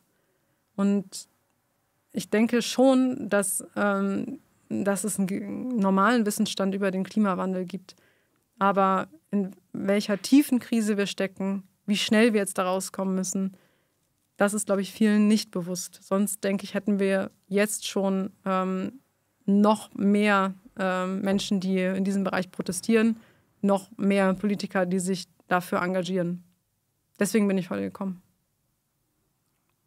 Ich meine, meine Frage war ja, der Ausgangspunkt war ja, warum machen wir all das nicht? Und du meintest es ist komplex, die Antwort. Äh, Im Grunde hast du, hast du genau das gesagt, was alle anderen auch immer sagen. Naja, das fossile Kapital, die, die Lobby des Status quo verhindert das. Also ist doch nicht so komplex, oder? Die Antwort ist ziemlich einfach. Nein, also ja, äh, vielleicht kann ich da noch äh, zu ausführen. Also das ist ein, ein Teil und ähm, das ist vielleicht auch der wichtigste. Ähm, der andere Teil ist ähm, diese Zeitversetzung von Ursache und Wirkung. Das haben wir zum Beispiel bei der Covid-Pandemie sehr stark gesehen, dass wenn die Fallzahlen niedrig waren, es sehr, sehr schwierig und langsam stiegen, es am Anfang der Welle oft sehr, sehr schwierig war, Maßnahmen einzuleiten, also ähm, Infektionsschutzmaßnahmen einzuleiten, um die Welle quasi zu brechen, ja, also um äh, die Infektionsketten zu brechen ähm, weil einfach der gesellschaftliche Wille, das mitzutragen, dann noch recht gering war. Während, wenn dann hohe Infektionszahlen waren, Krankenhäuser überlastet, ja, viele Todeszahlen, alle schockiert waren und gesagt haben, okay, jetzt äh, bin ich bereit, äh, nicht mehr auf die Straße zu gehen, ja, oder ähm, äh, große Einschränkungen anzunehmen. Ähm, und beim Klimawandel haben wir ja eine viel größere Zeitverzögerung, also von Ursache zu Wirkung hin. CO2 ist sehr lange in der Atmosphäre äh, und es tritt auch noch geografisch versetzt ein. Ja? Also ähm, äh, die Emissionen, die wir hier verursachen, können in 20 Jahren ein Kind in Bangladesch in der Sturmflut töten. Ja? Das ist natürlich etwas, was sehr abstrakt ist, sehr indirekt ist. Und genau deswegen ist es eben so schwierig, das zu stoppen, weil wenn das Kind, von dem ich jetzt gerade gesprochen habe, sterben würde, wenn ich die Gasheizung anschalte vor meinen Augen, dann würde niemand das tun. Ja? Die meisten mhm. Menschen würden das nicht tun. Aber es, es passiert eben zeitversetzt und geografisch versetzt. Es passiert nicht vor meinen Augen. Wir alle oder fast alle wissen aber, dass es passiert. Aber wir nehmen das, es ist nicht, ist nicht intentioniert, wir machen das nicht mutwillig, diese Zerstörung, mhm. aber wir nehmen diese Zerstörung in Kauf. Machen das nicht mutwillig? Nein, insofern nicht. Äh, das ist eine andere Art von Gewalthandlung. Wenn ich dich schlagen würde, dann ist mein, äh, meine Intention, dir weh zu tun. Aber wenn ich jetzt ähm, die Gasheizung anschalte und du dann in zehn Jahren an der Hitzewelle stirbst, ist es beim Anschalten der Gasheizung jetzt nicht ähm, meine Intention, dir weh zu tun. Auch wenn ich vielleicht, also insofern ist es nicht mutwillig. Ja? Insofern ist es etwas, was wir aber in Kauf nehmen. Und wir inzwischen auch wissentlich, also alle oder fast alle, die über den Klimawandel jetzt inzwischen Bescheid wissen, auch wissentlich in Kauf nehmen. Wir, wir, wir, wir äh, verbrennen doch Öl und Gas und immer mehr davon mutwillig, weil da auch Interessen, die du ja gerade beschrieben hast, mhm. hinterstehen, damit das auch immer mehr ist. Die ja kein Interesse daran haben, dass es weniger wird, obwohl genau. sie öf öffentlich vielleicht sagen, ja, ja, klar, genau, also die, die Handlung an sich, sozusagen äh, Öl und Gas äh, zu verbrennen, das ist natürlich eine bewusste Handlung. Ähm, aber äh, das Interesse, das dahinter steht, ist ja nicht einem anderen Menschen zu schaden. Den Unterschied wollte ich, äh, wollte ich aufzeigen. Und davon müssen wir uns natürlich letztlich befreien. Ja, es ist ja auch ein Akt der Befreiung, der Klimaschutz. Von dieser äh, Last der Verantwortung, die damit einhergeht.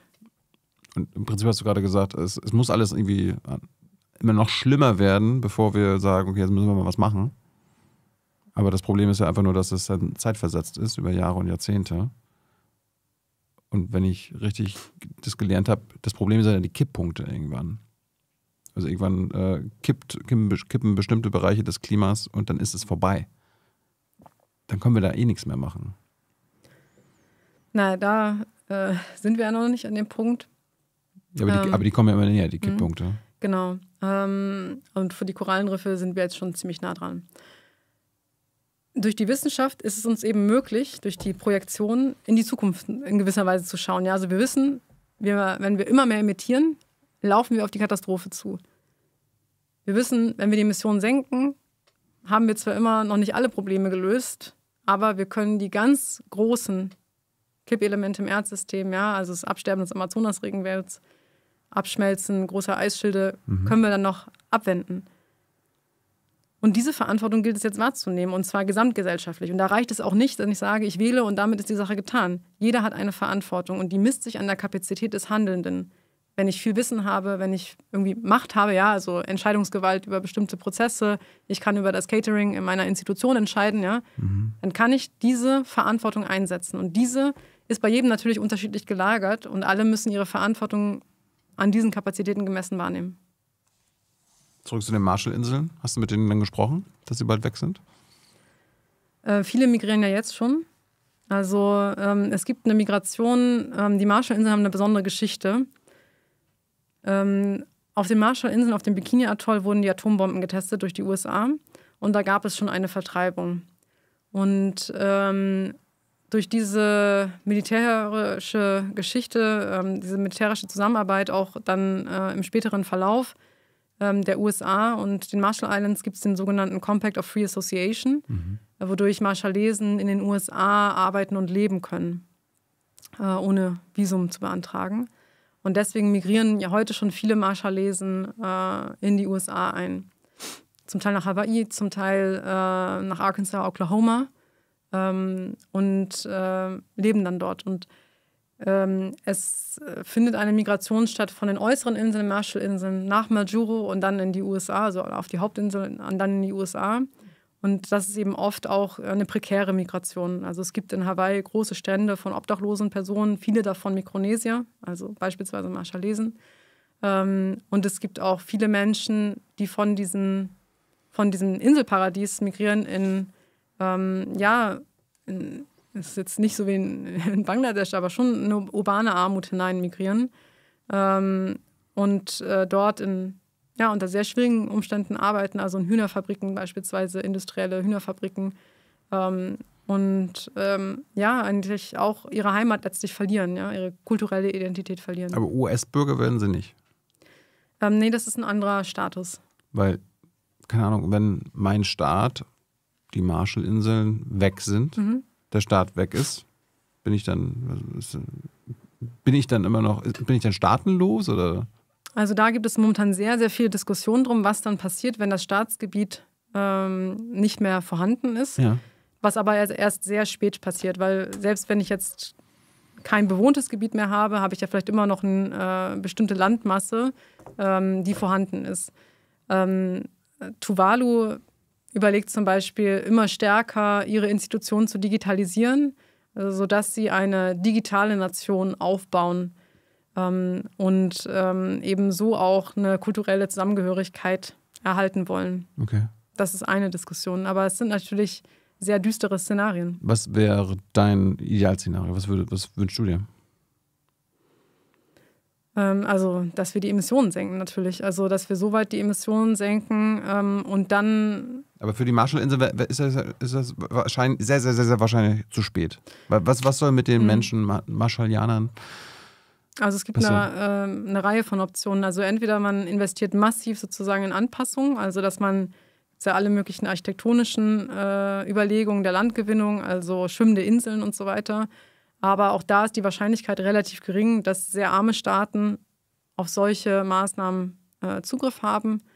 Und ähm, dann wiederum auf anderer Seite äh, die Frage eben, äh, wird es Menschen ermöglicht werden, zu migrieren wenn ihr Staatsgebiet verschwindet oder wenn es unbewohnbar wird. Und Unbewohnbarkeit ergibt sich eben genau aus diesem Zusammenhang. Wie groß ist der Impact? Also wie stark ist äh, die Klimafolge? Wie hoch steigt der Meeresspiegel? Wie schlimm ist, äh, sind die Brände? Ja, wie oft treten die auf? Und die finanziellen, technologischen Möglichkeiten darauf zu antworten. Weil ich mir natürlich in allen möglichen Szenarien irgendwie vorstellen kann, wie man ein Gebiet bewohnbar hält. Aber wenn ich heute kaum finanzielle Ressourcen habe, um da überhaupt äh, eine, eine Basislevel an menschlicher Entwicklung ähm, äh, zu etablieren, dann ist es eben schwer vorstellbar, dass in 20, 30 Jahren unendlich viele Ressourcen zur Verfügung stehen würden, um dieses Gebiet bewohnbar zu halten. Das heißt, dass je stärker ähm, die Klimafolgen werden, desto mehr Gebiete werden so stark betroffen sein, dass wir auch eine Unbewohnbarkeit dort vorfinden werden.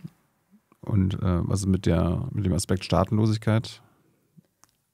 Was ist da deine präferierte Lösung? Dass sie sich einen anderen Staat aussuchen können? Ähm, also ähm, eine Möglichkeit ist eben, ähm, dass eine Gruppe von Staaten sich entschließt, diesen Personen eine zweite Staatsangehörigkeit zu eröffnen, beispielsweise durch einen Pass, ähm, der dann ihnen ermöglicht, äh, sich äh, in der Staatengruppe dann zu wählen zwischen den Staaten, wo sie hin umsiedeln wollen mhm. und dann möglicherweise auch dann nach einiger äh, Wohnzeit, äh, Arbeitszeit dort äh, volle Staatsangehörigkeitsrechte ähm, bekommen. Ist das der Klimapass, den du forderst? Ähm, genau, das ist also ein Instrument äh, in diesem Strauß äh, von, äh, von Maßnahmen, die ergriffen werden müssen, um mit diesem Problem umzugehen. Und das ist eben das Instrument, was dann zur Geltung kommt, gerade in diesen Extrem oder zur Geltung kommen sollte, in diesen Extremfällen, mhm. wo eben Staatsgebiete unbewohnbar werden. Hört sich gut an, was spricht dagegen? Wer hätte was dagegen, Kira? Ähm, also diese Idee ähm, ist schon seit längerem äh, im Spiel, hat der wissenschaftliche Bereich globale Umweltveränderung vorgebracht, WBGU. Mhm. Und ähm, wurde sowohl mit Kritik als auch mit äh, Lob äh, aufgenommen. Ähm, es gibt natürlich momentan eine Tendenz der Kriminalisierung von Migration. Sowohl verbal, mhm. ja, äh, als auch tatsächlich. Und ähm, deswegen ist es eben auch so schwierig, ähm, mehr Recht auf Migration, also Recht auf Migration aus unbewohnbaren Gebieten zu etablieren. Ich bin aber fest davon überzeugt, dass wenn es zu einer so extremen klimatischen Veränderung kommt, dass sich dann auch der moralische Druck so stark erhöhen wird, dass Staaten bereit sein werden und Menschen aufnehmen werden.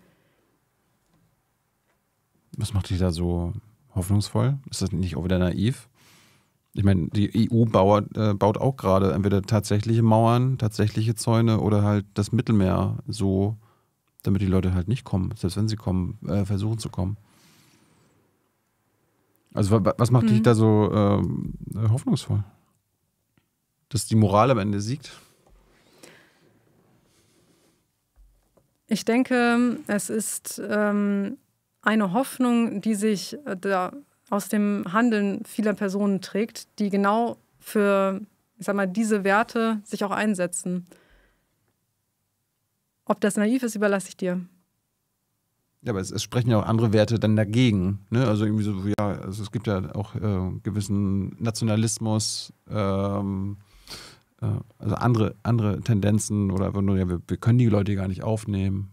Ne? Also wir haben gar keinen, gar keinen Platz, gar keine, uns geht es ja auch schon schlecht und so weiter. Also wir, wir kennen ja die ganzen äh, Diskussionen anhand seit, seit, seit, seit 2015 eh schon, wo, die, wo das halt eine klein, kleine Menge war. Äh, das, das würde ja dann nicht weniger werden. Und diese Abschottung war ja eine, ist ja eine Antwort auf die Situation seit 2015. Also warum, warum sollten wir trotz der moralischen Bedenken das denn jetzt in Zukunft anders machen? Naja, also es gibt natürlich auch äh, viele Dinge, die für stärkere Migration sprechen. Äh, beispielsweise äh, eine schrumpfende Bevölkerung in Deutschland, ja. Und äh, diese denke, ich denke, dass diese Argumente neben den moralischen Argumenten letztlich überwiegen werden. Und ähm, ich glaube, wenn wir uns dem Zynismus hingeben, also ähm, es bringt ja alles nichts und äh, es ist ja eh alles schon so schlimm, dann werden wir es nicht schaffen.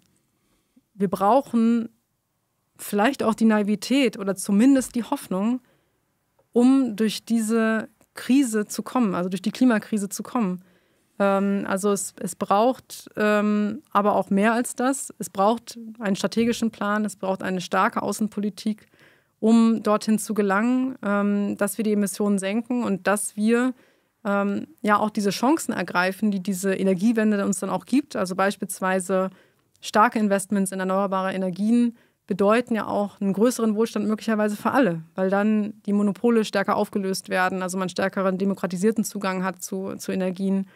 Also ich glaube schon, dass äh, wir auch Grund zur Hoffnung haben und ähm, dass wir uns eben nicht von den, von den Zynikern gefangen halten müssen in der Starre, in der wir ja na, lange verharrt sind. Ich stimme dir auch persönlich ja zu, dass das alles passieren mhm. muss, aber äh, warum ist das, warum ist das realistisch? Weil so funktioniert die Welt halt nicht. Also, je, also Europa, mhm. wir machen unser Ding. Als, weißt du, als erstes mhm. zählt, was, was wir wollen und was unsere Menschen wollen, was unsere Interessen sind. Wir, mhm. keiner denkt irgendwie global. Am, am, Ende wird dann quasi immer so, gibt dann so Lippenbekenntnisse, ja, ja, wir müssen das alles mhm. irgendwie bedenken und so weiter und so fort. Aber am Ende ist ja, scheint ja die mhm. Realität zu sein, wir lassen die Leute lieber absaufen oder sterben oder wir schießen die zur Not ab, äh, anstatt denen zu helfen. Naja, also die ähm, in der Ukraine haben wir zum Beispiel, also mit den Geflüchteten aus der Ukraine gab es ja schon eine gewisse Solidarität und Menschen wurden aufgenommen. Also es ist jetzt nicht so, dass ähm, sozusagen diese äh, Abweisung, die du gerade skizziert hast, überall an allen Fronten stattfindet, sondern dass es schon auch Solidarisierung gibt. Ja, aber, das ist, das ist, aber das ist halt noch Europa. Mhm. Und dann würden Zyniker auch sagen, ja, das sind halt mhm. weiße Menschen, mhm. Kira. Klar, es gibt auch großen ähm, Rassismus. Ähm, ähm, also warum sozusagen ähm, diese, äh, diese Möglichkeit des Wandels besteht, denke ich, dass es viele Beispiele gab in der Geschichte, wo es schon auch Errungenschaften gab für mehr Menschen, für die Etablierung mehrerer Menschenrechte, mhm. ähm, dass, ähm, dass die Genfer Konvention weiterhin Bestand hat, durch viele Krisen hindurch. Auch wenn es Verletzungen dieser Konventionen gibt, wird sie trotzdem weitestgehend anerkannt. Und ich denke, daraus ähm, denke ich, sollte man auch ähm, dann den, den, sozusagen den Mut ziehen, ähm, sich dafür einzusetzen, ähm, dass äh, solche Normen auch erweitert werden ähm, oder andere Instrumente ergriffen werden, um eben auch anderen Menschen, die beispielsweise durch unser Handeln äh, zu, äh, in Not geraten, eben weil in Industriestaaten eben sehr viele Emissionen äh, ausgeschüttet werden und dann sich extreme Ereignisse woanders äh, zeigen, ähm, und diese Menschen dann auf, auf Grundlage dieses, äh, dieser Effekte dann migrieren, ähm, dass man dann eben auch äh, sagt, ja, äh, wir nehmen eine bestimmte Anzahl von Menschen auf, die aufgrund dieser äh, Veränderung migrieren. Aber das ist ja, du hast es irgendwie gerade so für mich auf, den Punkt gebracht, was den Zynismus unterstreicht. Ja, wir sind hauptverantwortlich für den Klimawandel, aber woanders sind die Menschen am Arsch. Also das ist doch quasi auch eine perfekte eine perfekte Situation für die zynische Politik. Genau, so, also die Frage. So, so katastrophal mh. das ist. Genau, also die Frage wird schon sein, ähm, der Druck auf die europäischen Außengrenzen wird sich erhöhen durch den Klimawandel. Und dann wird die Frage sein, wie gehen wir damit um? Hochrüstung ist aktuelles Thema. Die Realität. Hm. Wir rüsten auf. Meinst du, ja. Genau, und äh, das ist dann ähm, ähm, die Herausforderung, eben auch äh, Mechanismen zu identifizieren und sie anzuwenden, um beispielsweise Lebensgrundlagen in anderen Ländern zu schützen. Das macht ja Deutschland auch durch seine Entwicklungszusammenarbeit. Ähm, oder auch beispielsweise ähm, im, ähm, im Rahmen von äh, Partnerschaftsprojekten auf kommunaler Ebene. Du forderst ja auch in deinem Buch, ähm, ich fasse das mal zusammen, unter weil es ja bei der Genfer Flüchtlingskonvention, da gibt es ja noch nicht irgendwie äh, den, den, ähm, den rechtlichen Status von Klimaflüchtling. Ne? Also ich, ich muss nach Europa äh, flüchten, weil meine, die klimatischen Bedingungen meiner Heimat äh, nicht mehr lebenswert sind. Das gibt es ja alles nicht. Und du forderst ja im Grunde institutionelle und rechtliche Reformen auf einer globalen Ebene. Äh, jetzt, gucken, jetzt bleiben wir mal wieder beim Thema Europa. Äh, die letzten Monate haben da gezeigt, wie die rechtlichen Reformen gerade ähm, umgesetzt werden. Also die neue EU-Asylpolitik äh, macht ja alles noch schlimmer und verschärft ja das. Und wir machen, klar, gibt es irgendwie eine Genfer, Genfer, Konvention, aber wir machen jetzt alles noch komplizierter für Menschen aus, äh, aus Nicht-Europa hierher zu kommen. Genau, also die Situation ist ähm, äh, eine Tendenz, dass die Migration stärker kriminalisiert wird. Und da gilt es, sich dagegen zu stellen und zu sagen, ähm, so wird es nicht weitergehen. Mhm. Ähm, wir können nicht immer weiter ähm, Rechte, die wir versuchen innerhalb unserer Grenzen zu schützen, außerhalb oder an den Außengrenzen verletzen. Und ähm, deswegen ist es eben so wichtig, auch zu sehen, wie verhalten sich diese Institutionen oder wie standhaft sind diese Institutionen in einem sich verändernden Klima. Und da sehen wir eben, viele Institutionen sind für die Veränderungen, die mit ähm, dem Klimawandel einhergehen, eben nicht gewappnet. Und da braucht es eben institutionelle Erneuerung, es braucht ähm, vielleicht auch erweiterte Mandate ähm, und es braucht auch Vorreiter. Und ich denke, ähm, dass Deutschland da eigentlich in einer sehr guten Position ist, ähm, sowohl ähm, wirtschaftlich als auch äh, gesellschaftlich, um mit diesen Herausforderungen umzugehen. Also ich denke, wir sind da ähm, wirklich eigentlich recht gut aufgestellt, aber wir müssen eben auch die Debattenkultur dahingehend verändern, ähm, stärker auch ähm, die, die Möglichkeiten zu sehen, ähm, als äh, uns nur in sozusagen äh, in dem zu verharren, was irgendwie schief läuft.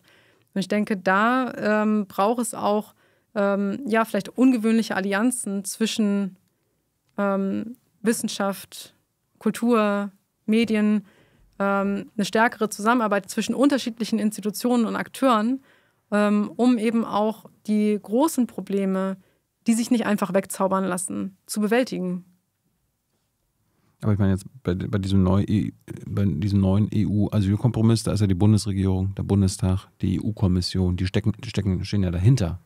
Die wollen das, dass es alles schlimmer wird, aus Sicht äh, äh, von, vom Humanismus, den du jetzt äh, propagierst.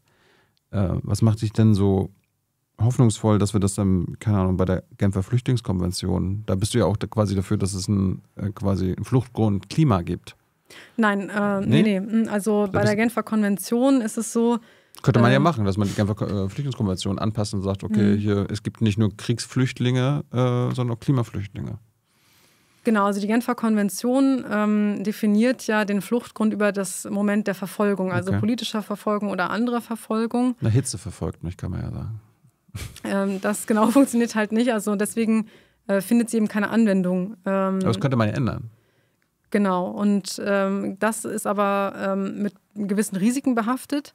Denn wenn man die Diskussion um die Genfer Konvention öffnet, dann ist die Wahrscheinlichkeit aufgrund der also von dir auch skizzierten Tendenzen einfach höher, dass bestehende, äh, die bestehenden Rechte auf Asyl von bestimmten Gruppen eingeschränkt werden, als dass äh, neue Rechte hinzugefügt werden für andere Gruppen. Mhm. Insofern sagt sagen die meisten Experten, und da würde ich mich äh, auch anschließen, ähm, dass man die Genfer Konvention vielleicht so ähm, nicht verändert. Es gibt Diskussionen momentan zum Zusatzprotokoll, ähm, die stehen noch ziemlich am Anfang. Ähm, ich denke, was mehr Aussicht auf Erfolg hat, ist, dass man eben versucht, eine Staatengruppe zu bilden von äh, einer Handvoll Industriestaaten, die ähm, beispielsweise auf Kontingentbasis Menschen aufnimmt, die aufgrund von Klimafolgen vertrieben worden sind. Also, dass man jetzt nicht versucht, über die komplett ähm, äh, multilaterale Ebene zu gehen und das gesamte UN-System zu bewegen, also alle Staaten, äh, alle Mitgliedstaaten der UN, sondern weil dann eben die Kompromissbasis sehr gering ist, ähm, sondern eben versucht, mit Staatengruppen voranzugehen und der Hoffnung, ähm, dass sich eben Staaten anschließen. Und da gibt es auch historische Beispiele, beispielsweise den sogenannten Nansen-Pass. Ähm, Friedrich Nansen war Polarforscher, ähm, aber er war eben auch der ähm, erste äh, ja, äh, äh Flüchtlingshochkommissar mhm. in der League of Nations. Und er hat eben ähm, Vertriebenen nach dem Ersten Weltkrieg, die staatenlos waren, eben den sogenannten Nansen-Pass äh, zugeschrieben. Ähm, also mehrere Staaten hat mehrere Staaten davon überzeugt, dieses Dokument anzuerkennen, ähm, womit sich dann diese Menschen legal in den Ländern aufhalten konnten und auch ähm, legal einer Arbeit nachgehen konnten. Und äh, da haben sich dann immer mehr Länder angeschlossen und dieses Dokument anerkannt. Also es gibt schon historische Beispiele, auch in sehr schwierigen Situationen, wo sich Staaten dann ähm, doch dem Humanismus, äh, wie du es genannt hast, zugewandt haben, um Probleme zu lösen. Aber schon krass, äh, dass wir lieber nicht die, also die Büchse der Genfer Flüchtlingskonvention öffnen, weil wir Angst haben müssen, wenn wir das machen, dann wird, wird die verschlimmert und verschlechtert anstatt dass wir sie besser machen. Ja, vielleicht bist du naiv. Nee, das, äh, so, so, das hast du ja gerade beschrieben. Ja, ja, also genau, also das. Du, äh, du hast ja quasi selbst Angst davor, dass äh, die Welt. Äh, genau, ja, ja, also das. noch brutaler werden würde. Ja, genau, das ist die, ähm, die Gefahr, die viele sehen und ich sehe sie tatsächlich auch. Aber wo kommt denn deine Hoffnung her? Also du siehst selbst die Gefahr der Brutalität, aber äh, hoffst auf die Moral, die moralische Einsicht von den naja, also, Industriestaaten. Also, sie kommt nicht nur aus der Moral, aber auch. Also wir haben ähm, eine total verfahrene Situation, da stimme ich dir vollkommen überein. aber wir haben auch ähm, wir haben Technologien an der Hand. Ähm, wir haben eine Zivilbevölkerung, die auch viel Klimaschutz mittragen würde, zum Beispiel in Deutschland. Ähm, wir haben. Außer, ähm, wenn es konkret wird, ne? Wärmepumpe, nee. Ja, da ist viel auch in der Debatte äh, schiefgelaufen. Aber ich denke, es braucht auch, ich würde es nicht unbedingt Moral nennen, ich würde es Empathie nennen. Es braucht auch die Empathie. Es braucht das Mitgefühl mit denen, die leiden in den Hitzewellen, die leiden in den Stürmen. Es braucht dieses Verständnis darüber, dass das, was wir jetzt machen, mit den fossilen Energien Leid zufügt. Und ich glaube, das ist auch das, was fehlt. Wir haben viel bei den Wärmepumpen auch über soziale Gerechtigkeit und äh, gesprochen innerhalb Deutschlands. Und das ist auch ein wichtiger Bestandteil dieser Debatte, eben weil es Armut gibt in Deutschland äh, und weil nicht alle Menschen einfach so sich eine Wärmepumpe einbauen können. Ähm, aber was oft fehlt in der Debatte ist eben der Blick nach außen. Wenn wir jetzt weiter Gasheizungen verbauen, dann wird das dazu führen, dass immer mehr Menschen unter dem Klimawandel leiden. Und ich glaube, dass diese, ähm, dieses Wissen auch Handlungsdruck erzeugt und dass wir ja die Möglichkeiten uns offen stehen. Wir haben ja, wir haben ja noch nicht alles probiert. Wir haben noch viele Wege, die uns offen stehen, die wir gehen können. Wir leben in einer Demokratie, wir können wählen, wir können äh, den Fußballclub äh, klimaneutral gestalten, wir können uns zusammentun. Ähm, wir haben da viele Optionen. Ich glaube nicht, dass das naiv ist. Ich glaube, ähm, dass ähm, wir ja Mut brauchen, wir brauchen auch ein bisschen Glück, ähm, aber wir brauchen vor allem den entschlossenen Willen, etwas zu verändern. Hm. Falls ihr Fragen habt an Kira, her damit in den Chat. Hans kommt am Ende und stellt sie dir. Äh, du hast jetzt oft davon gesprochen, dass es äh, sehr, sehr viele, angefangen bei Küstengebieten von Inseln und so weiter, gibt, die unbewohnbar werden. Entweder weil sie nicht mehr da sind, äh, weil sie über, über äh, weil dann mit Wasser äh, überschwemmt werden oder einfach es so heiß ist und so weiter. Wird es dann auch Gebiete auf der Welt geben, die vielleicht bewohnbar werden? Ähm, ja, das ist eine schwierige. Gib uns, gib uns ja. mal ein paar gute Entwicklungen. Hm. Sag, sag, uns, dass Sibirien, keine Ahnung, äh, abtaut und dann können wir da Milliarden von Menschen hinschicken. Nein, so, so einfach ist es äh, leider nicht, ähm, weil einfach ähm, sehr, sehr viele ähm, Abläufe in den Ökosystemen jetzt sehr schnell ähm, durch diese rapide Erwärmung vonstatten gehen und das keinesfalls günstig ist. Also wir haben ja gerade auch in den Permafrostgebieten jetzt ein starkes Abtauen. Das führt eher dazu, dass Infrastruktur zerstört wird, ja, also dass Straßen sich destabilisieren, ähm, dass Häuser sich destabilisieren. Also das führt jetzt nicht unbedingt zu einer Besserung ähm, der, äh, der Situation. Aber natürlich ist es so, ähm, dass die Situation um den tropischen Gürtel, also um den Äquator herum, deutlich äh, schwieriger ist als ähm, äh, die Situation äh, in der nördlichen Hemisphäre zum Beispiel. Ähm, und ähm, ja, in der Verursachung des Problems, da haben wir jetzt ja auch ein bisschen drüber gesprochen, ist es eben genau umgekehrt. Ähm, da haben wir äh, eine starke Verursachung eben in der nördlichen Hemisphäre äh, dieser Situation und sehr, sehr geringe Emissionen um den tropischen Gürtel herum, allgemein gesprochen. Mhm. Und ähm, deswegen ist es eben so wichtig, dass Industriestaaten ihre Verantwortung da auch wahrnehmen und die Emissionen letztlich senken. Aber was, was ist da mit Sibirien und Kanada? Das sind riesengroße Länder. Da ist doch noch genug Platz. Äh, jetzt liegt da vielleicht noch Schnee die meiste Zeit, aber das wird, der wird ja irgendwann weg sein. Können wir dort nicht Menschen ansiedeln?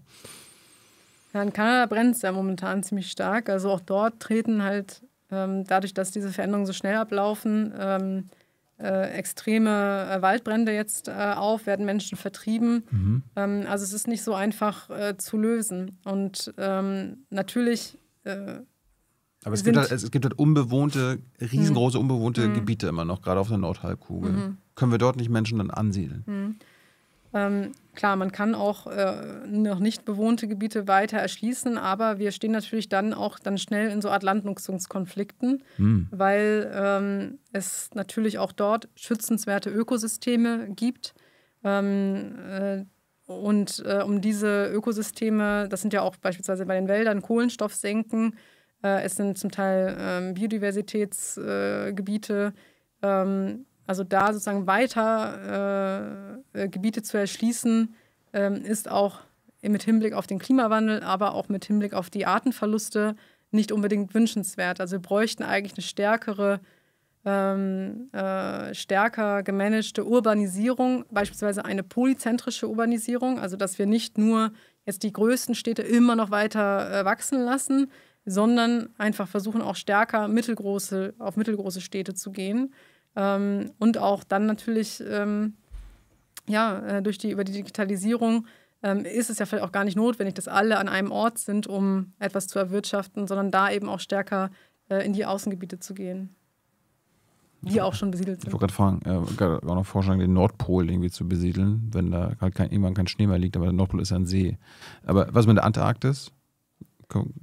Nein. also ähm, das äh, ist, glaube ich, äh, kein realistisches Szenario. Noch nicht. Vielleicht, vielleicht, sagen die Industrie, vielleicht, vielleicht, sagen die Industriestaaten, ja, ihr könnt zwar hier nicht herkommen, aber wir, wir, bringen euch gerne in die Antarktis oder so. Da ist es jetzt ja auch warm. Nee, ich glaube, das hm. ist ähm, äh, dann äh, wird nicht möglich sein. Das ist vielleicht, ähm, äh, kann man jetzt so in so einem Hollywood-Film oder so sich überlegen, aber ähm, das äh, ist, glaube ich, nicht an die Realität geknüpft. Was mit Städten auf dem Wasser? Also ja, das so, ich, genau. bin, ich bin jetzt so fossiler Kapitalist, habe meine Millionen Milliarden durch äh, die Verschmutzung der Erde äh, erwirtschaftet. Ich möchte jetzt ein schönes Leben auf dem Wasser mehr haben.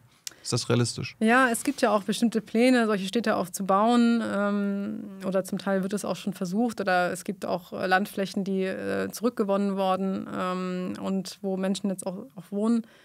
Ähm, aber äh, ich das ist halt keine äh, großflächige Lösung für die Anzahl von Menschen, ähm, die zur Migration möglicherweise gezwungen sein könnten, wenn wir eben diesen Weg gehen der Hochemissionen. Mhm.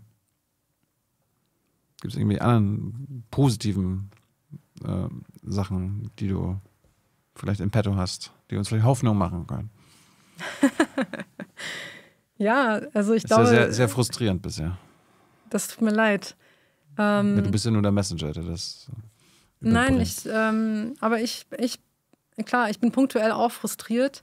Ähm, aber wie gesagt, also äh, auf Seiten der Emissionsminderung stehen uns noch sehr viele Optionen offen, aber auch auf Seiten der Anpassung. Und gerade wenn wir es schaffen, die globale Erwärmung unter zwei Grad zu begrenzen, dann gibt es natürlich noch Möglichkeiten ähm, im landwirtschaftlichen Bereich, im Städtebau, ähm, in, in der Schaffung von, ähm, ja, auch so von Städten, die stärker darauf ausgerichtet sind, auch Personen aufzunehmen, ähm, beispielsweise auch durch Ausbildungsmöglichkeiten in den ländlichen Gebieten.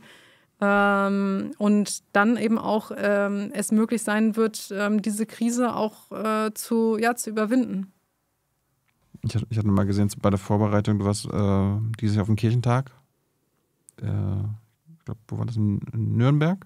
ja. im Juni. Da hast du gesagt, es wird viel über das 2% für militärische Investitionen gesprochen. Und dann sagst du, wir brauchen auch 2% für den Klimaschutz. Das sei die Masse an Geld, die nötig sei. Also wir sollen genauso viel für den Klimaschutz ausgeben wie für das Militär? Also ähm, Seriously? Idealerweise würden wir mehr für den Klimaschutz äh, ausgeben. Du hast gesagt, das ist also nötig sei 2%. So.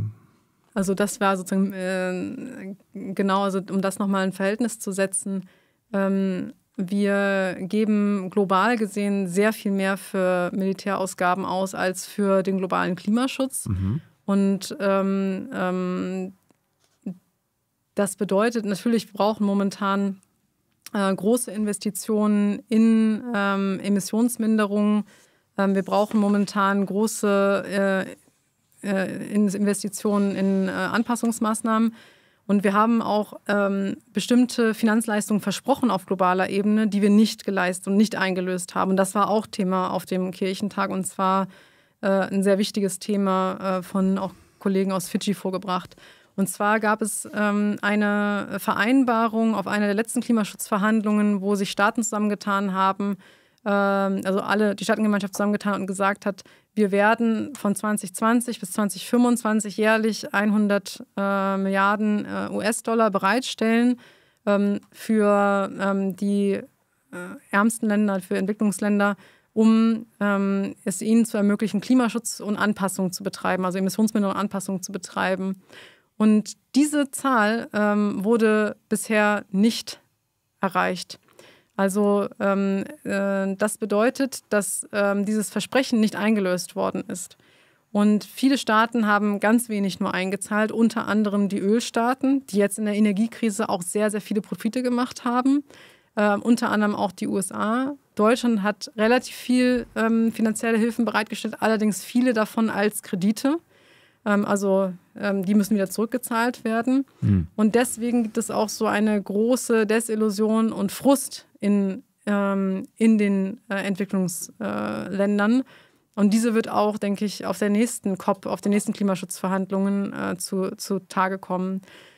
Um das mal in Verhältnis zu setzen, ähm, diese 100 Milliarden, also das sind alle Industriestaaten zusammen, die jährlich diesen Betrag leisten sollen für alle äh, Entwicklungsländer. Das Bundeswehr Besondervermögen.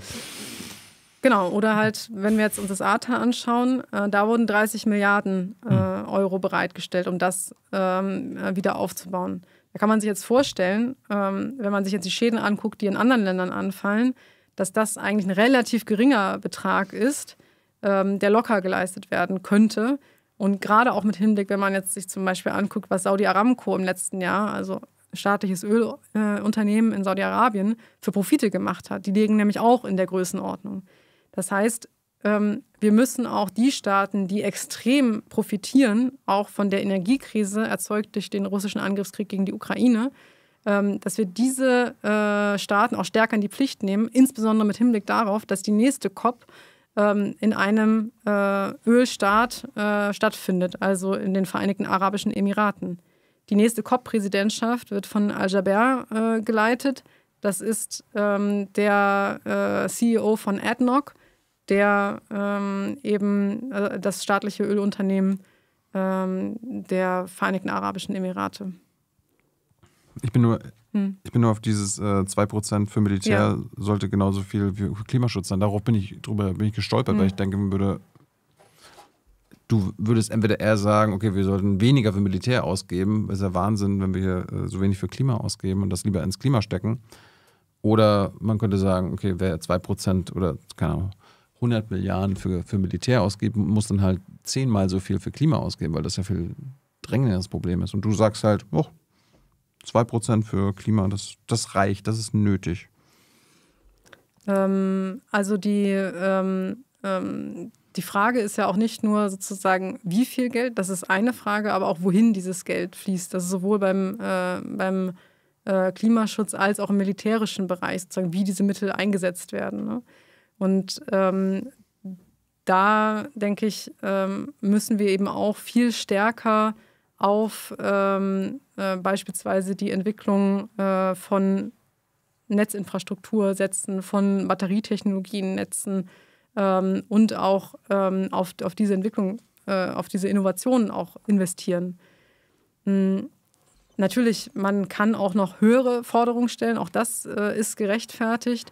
Ähm, ähm, aber klar, äh, es ist letztlich eine Verteilungsfrage. Wir haben momentan sehr, sehr starke Debatten auch um Kindergrundsicherung. Ähm, auch da könnte man stärker vom Klimaschutz sprechen. Ne? Also weil unsere, die Zukunft unserer Kinder ist nur dann abgesichert, wenn wir es schaffen, die Lebensgrundlagen zu erhalten. Also diese Debatten könnte man auch miteinander verknüpfen. Insofern, ich denke, ähm, auch bei den Töpfen ist es immer schwierig, ähm, ähm, komplett das miteinander aufeinander, voneinander zu trennen, ähm, weil wir eigentlich Klimaschutz in allen Bereichen, übrigens auch im militärischen Bereich, brauchen. Das äh, Militär ist ein großer Treiber von Emissionen. Und aus meiner Sicht sollten wir ähm, bei dem Sondervermögen der Bundeswehr auch beachten, wie wir unsere Beschaffungsprozesse dahingehend verändern, dass wir auch im militärischen Bereich, grüne Verteidigung und so weiter, ähm, stärker die Emissionen senken. Ja? Also grüne Kasernen gibt es ja auch Initiativen. Ich glaube, die Emissionen beim Militär generell auf der Welt sind immer ausgenommen, ne? Ähm, genau, also die sind von ähm, bestimmten Berechnungsgrundlagen ausgenommen. Man geht aber davon aus, also es gibt freiwillige, ähm, äh, also freiwillige Angaben zu den Emissionen im militärischen Bereich. Und man geht davon aus, dass die so zwischen 2, 3, 4, 5 Prozent liegen ähm, was ungefähr vergleichbar ist mit den Emissionen der, der Luftfahrt. Also der niedrigere Bereich ist vergleichbar mit den Emissionen durch die Luftfahrt. Das heißt, es ist schon ein relativ großer Beitrag an den mhm. globalen Emissionen. Wie gesagt, die Emissionen verteilen sich immer auf ganz, ganz viele Einzelbeträge, deswegen hört es sich immer recht wenig an. Ähm, ja, das ist im Vergleich ein Riesenbatzen, der einfach willentlich ausgenommen wird. Der, da muss nichts passieren. Der interessiert uns nicht. Also doch, der interessiert auf jeden Fall schon. Ich, ich höre jetzt hier nicht klimaneutrale Bundeswehr oder. Ähm, also es gibt schon auch eine Nachhaltigkeitsstrategie in der Bundeswehr, äh, die aber aus meiner Sicht auch noch Mängel aufweist. Ähm, und es gibt auch Bemühungen, beispielsweise bei der US Army, äh, auch die Emissionen zu senken um einen bestimmten Betrag. Ähm, und auch bei der Bundeswehr gibt es eben ähm, einzelne Bemühungen, um da äh, stärker die Emissionen zu senken. Es ist letztlich so, wir müssen in allen, Emis äh, in allen Sektoren auf Null Emissionen senken. Und das heißt jetzt, dass auch in Bereichen, wo wir jetzt nicht sofort dran denken, Militär, Entwicklungszusammenarbeit, mhm. auch da müssen die Emissionen gesenkt werden. Und leider haben wir jetzt 30 Jahre lang recht wenig getan, sodass jetzt in allen Sektoren man sich gleichzeitig bewegen muss. Und dazu gehört eben auch Militär, dazu gehört eben auch ähm, äh, die Entwicklungszusammenarbeit. Wenn ich zum Beispiel ein, ähm, äh, ein äh, also großes militärisches Gerät anschaffe, dann ist das ja viele Jahre oder Jahrzehnte im Einsatz. Ja, wenn ich jetzt zum Beispiel äh, an ja. Schiffe denke und so weiter. Das heißt, wenn diese ähm, Geräte mit fossilen Energien betrieben werden, ähm, dann habe ich da eine ganz starke Pfadabhängigkeit. Insofern ist es schon wünschenswert, stärker in diesen Sektor zu investieren, ähm, äh, auf erneuerbare Energien hin, auf an, andere Antriebsformen. Und generell ähm, kann man äh, beobachten, historisch, dass es viele ähm, äh, ähm, äh, Innovationen im militärischen Bereich gab, ähm, die sich auf den zivilen Bereich dann nachher niedergeschlagen haben. Ähm, Internet zum Beispiel, ja. Und ähm, insofern könnte man davon ausgehen, wenn auch die Mil Militärs versuchen, stärker auf Erneuerbare zu setzen oder stärker auch ihre Antriebe zu ändern, dass das auch andere positive Effekte haben könnte. Und es hat auch gewisse äh, strategische Vorteile, äh, wenn man zum Beispiel die ganze Logistik, die hinter solchen ähm, ähm, beispielsweise Auslandseinsätzen steht, ähm, um Treibstoffe zu beschaffen ähm, wenn man diese reduzieren könnte oder äh, bestenfalls äh, gar nicht mehr hätte, weil, man stärker auf Erneuerbare setzt oder an andere Antriebsformen setzt, ähm, dann äh, deckt, äh, senkt das natürlich auch die Kosten. Das Gleiche gilt auch beispielsweise bei der humanitären Hilfe oder Katastrophenschutz. Ja? Also wenn man sich anschaut, wie dort ähm, äh, Strom dann produziert wird, das ist immer über Dieselgeneratoren. Ähm, und natürlich sind das sehr sensible Bereiche, aber wir müssen in allen Sektoren auf Null. Und deswegen müssen, müssen diese Bereiche gleichzeitig angegangen werden. Um nochmal auf die Zahlen zurückzukommen, es ist, glaube ich, gar nicht so wichtig, dass es nur einen Topf für Klimaschutz gibt, sondern wir müssen quasi an alle Töpfe ran, also alle äh, Bereiche ran, ähm, wo Emissionen entstehen, was im Prinzip alle sind. Das heißt, und dann da Klimaschutzmaßnahmen zu Mainstream und mitzudenken und einzubinden. Hm. Ja, wie gesagt, ich bin, ich bin nur darauf gestolpert, weil für mich sind ist, ähm, Geldverteilung, also quasi wohin wird investiert und so weiter, auch eine Prioritätenverteilung äh, und immer zu sagen, okay, wenn du sagst 2% hier und 2% da, dann ist quasi Priorität deine Aussage halt, ja, Militär und Klimaschutz ist halt gleich wichtig, würde ich halt sagen, nee, das eine ist Überleben, das andere halt nicht. Ähm, ist, stimmt das, dass das US-Militär der größte Einzel-CO2-Emittent äh, Einzel der Welt ist?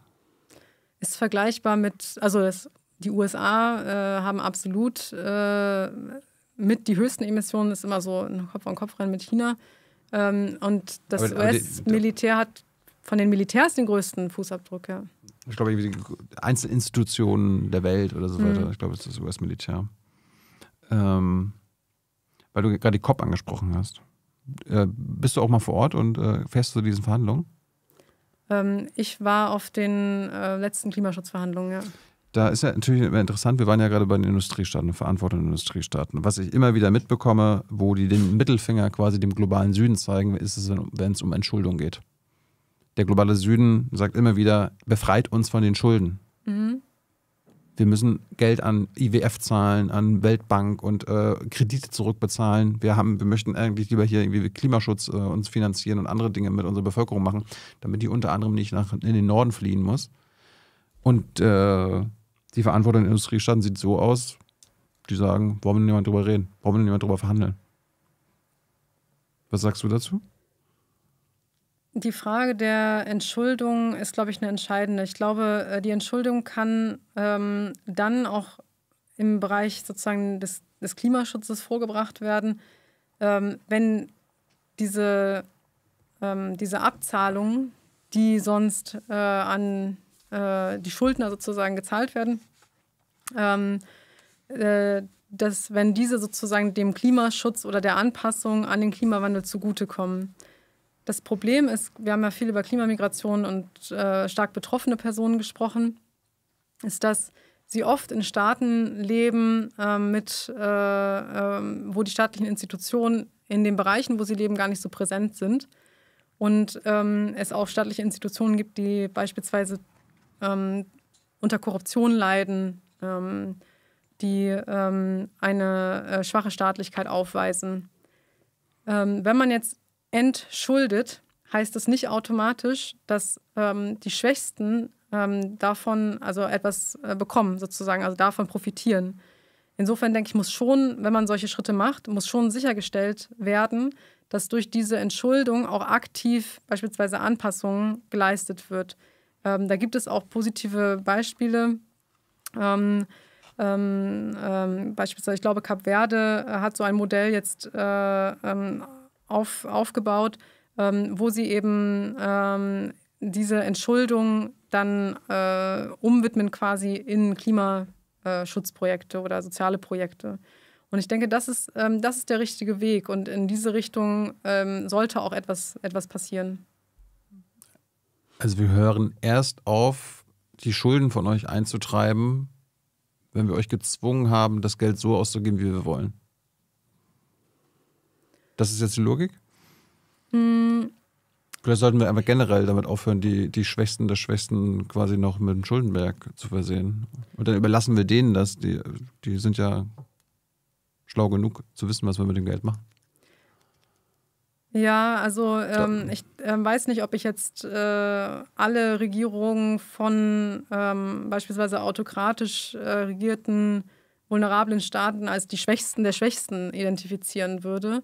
Ähm, es gibt eben auch ähm, Regierungen, die nicht im Interesse ihrer Gesamtbevölkerung handeln und schon gar nicht im Interesse der Schwächsten der Schwächsten. Beispielsweise Regierungen, ähm, die auch von der Ausbeutung lokaler Ressourcen zum Beispiel Öl oder wie auch immer, stark profitierend mhm. oder profitiert haben und ähm, dadurch auch ähm, ihre Machtstrukturen etabliert haben. Insofern denke ich, dass man das ähm, äh, von Fall zu Fall sich anschauen muss und jetzt nicht so eine ganz pauschale Aussage dazu treffen kann. Aber das kann man doch der Bevölkerung dann vor Ort überlassen.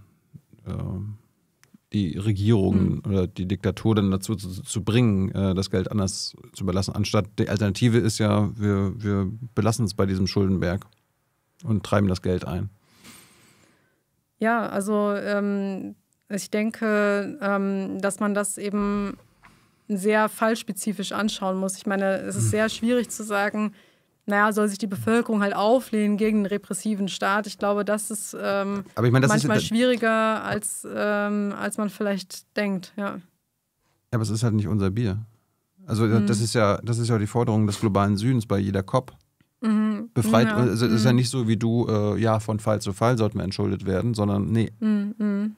entschuldet uns. Mhm.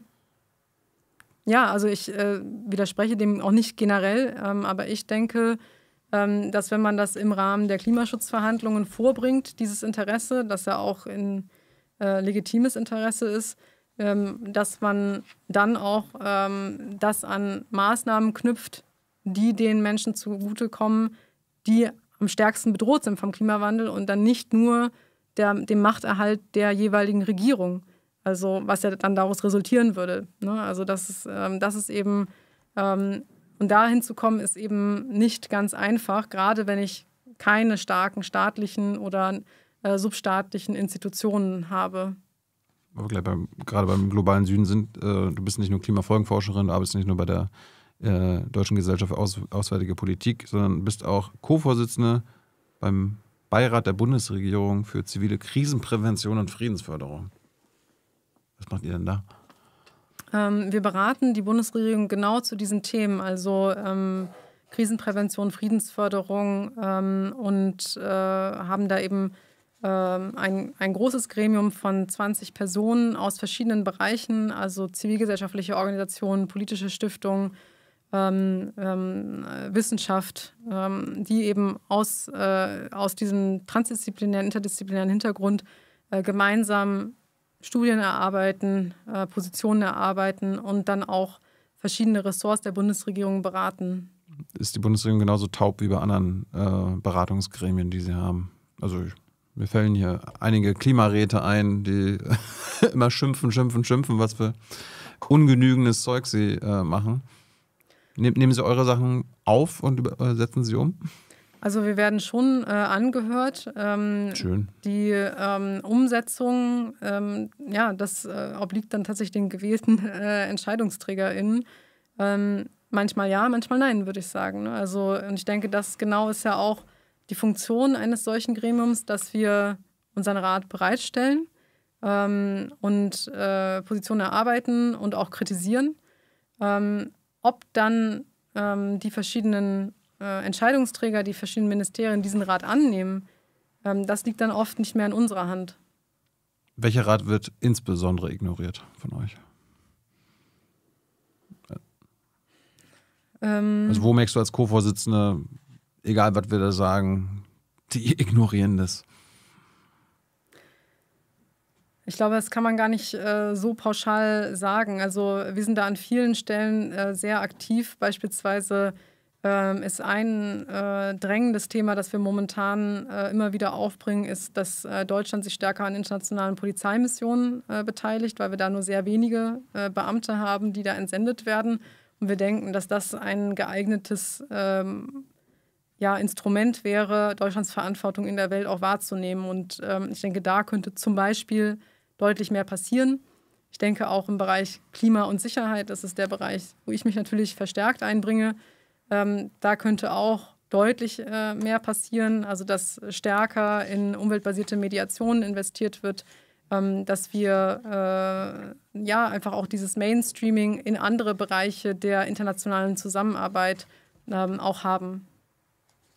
Ähm, unter anderem befasst ihr euch mit Arbeitsvorhaben, friedenspolitische Kohärenz deutscher Afrikapolitik. Mhm.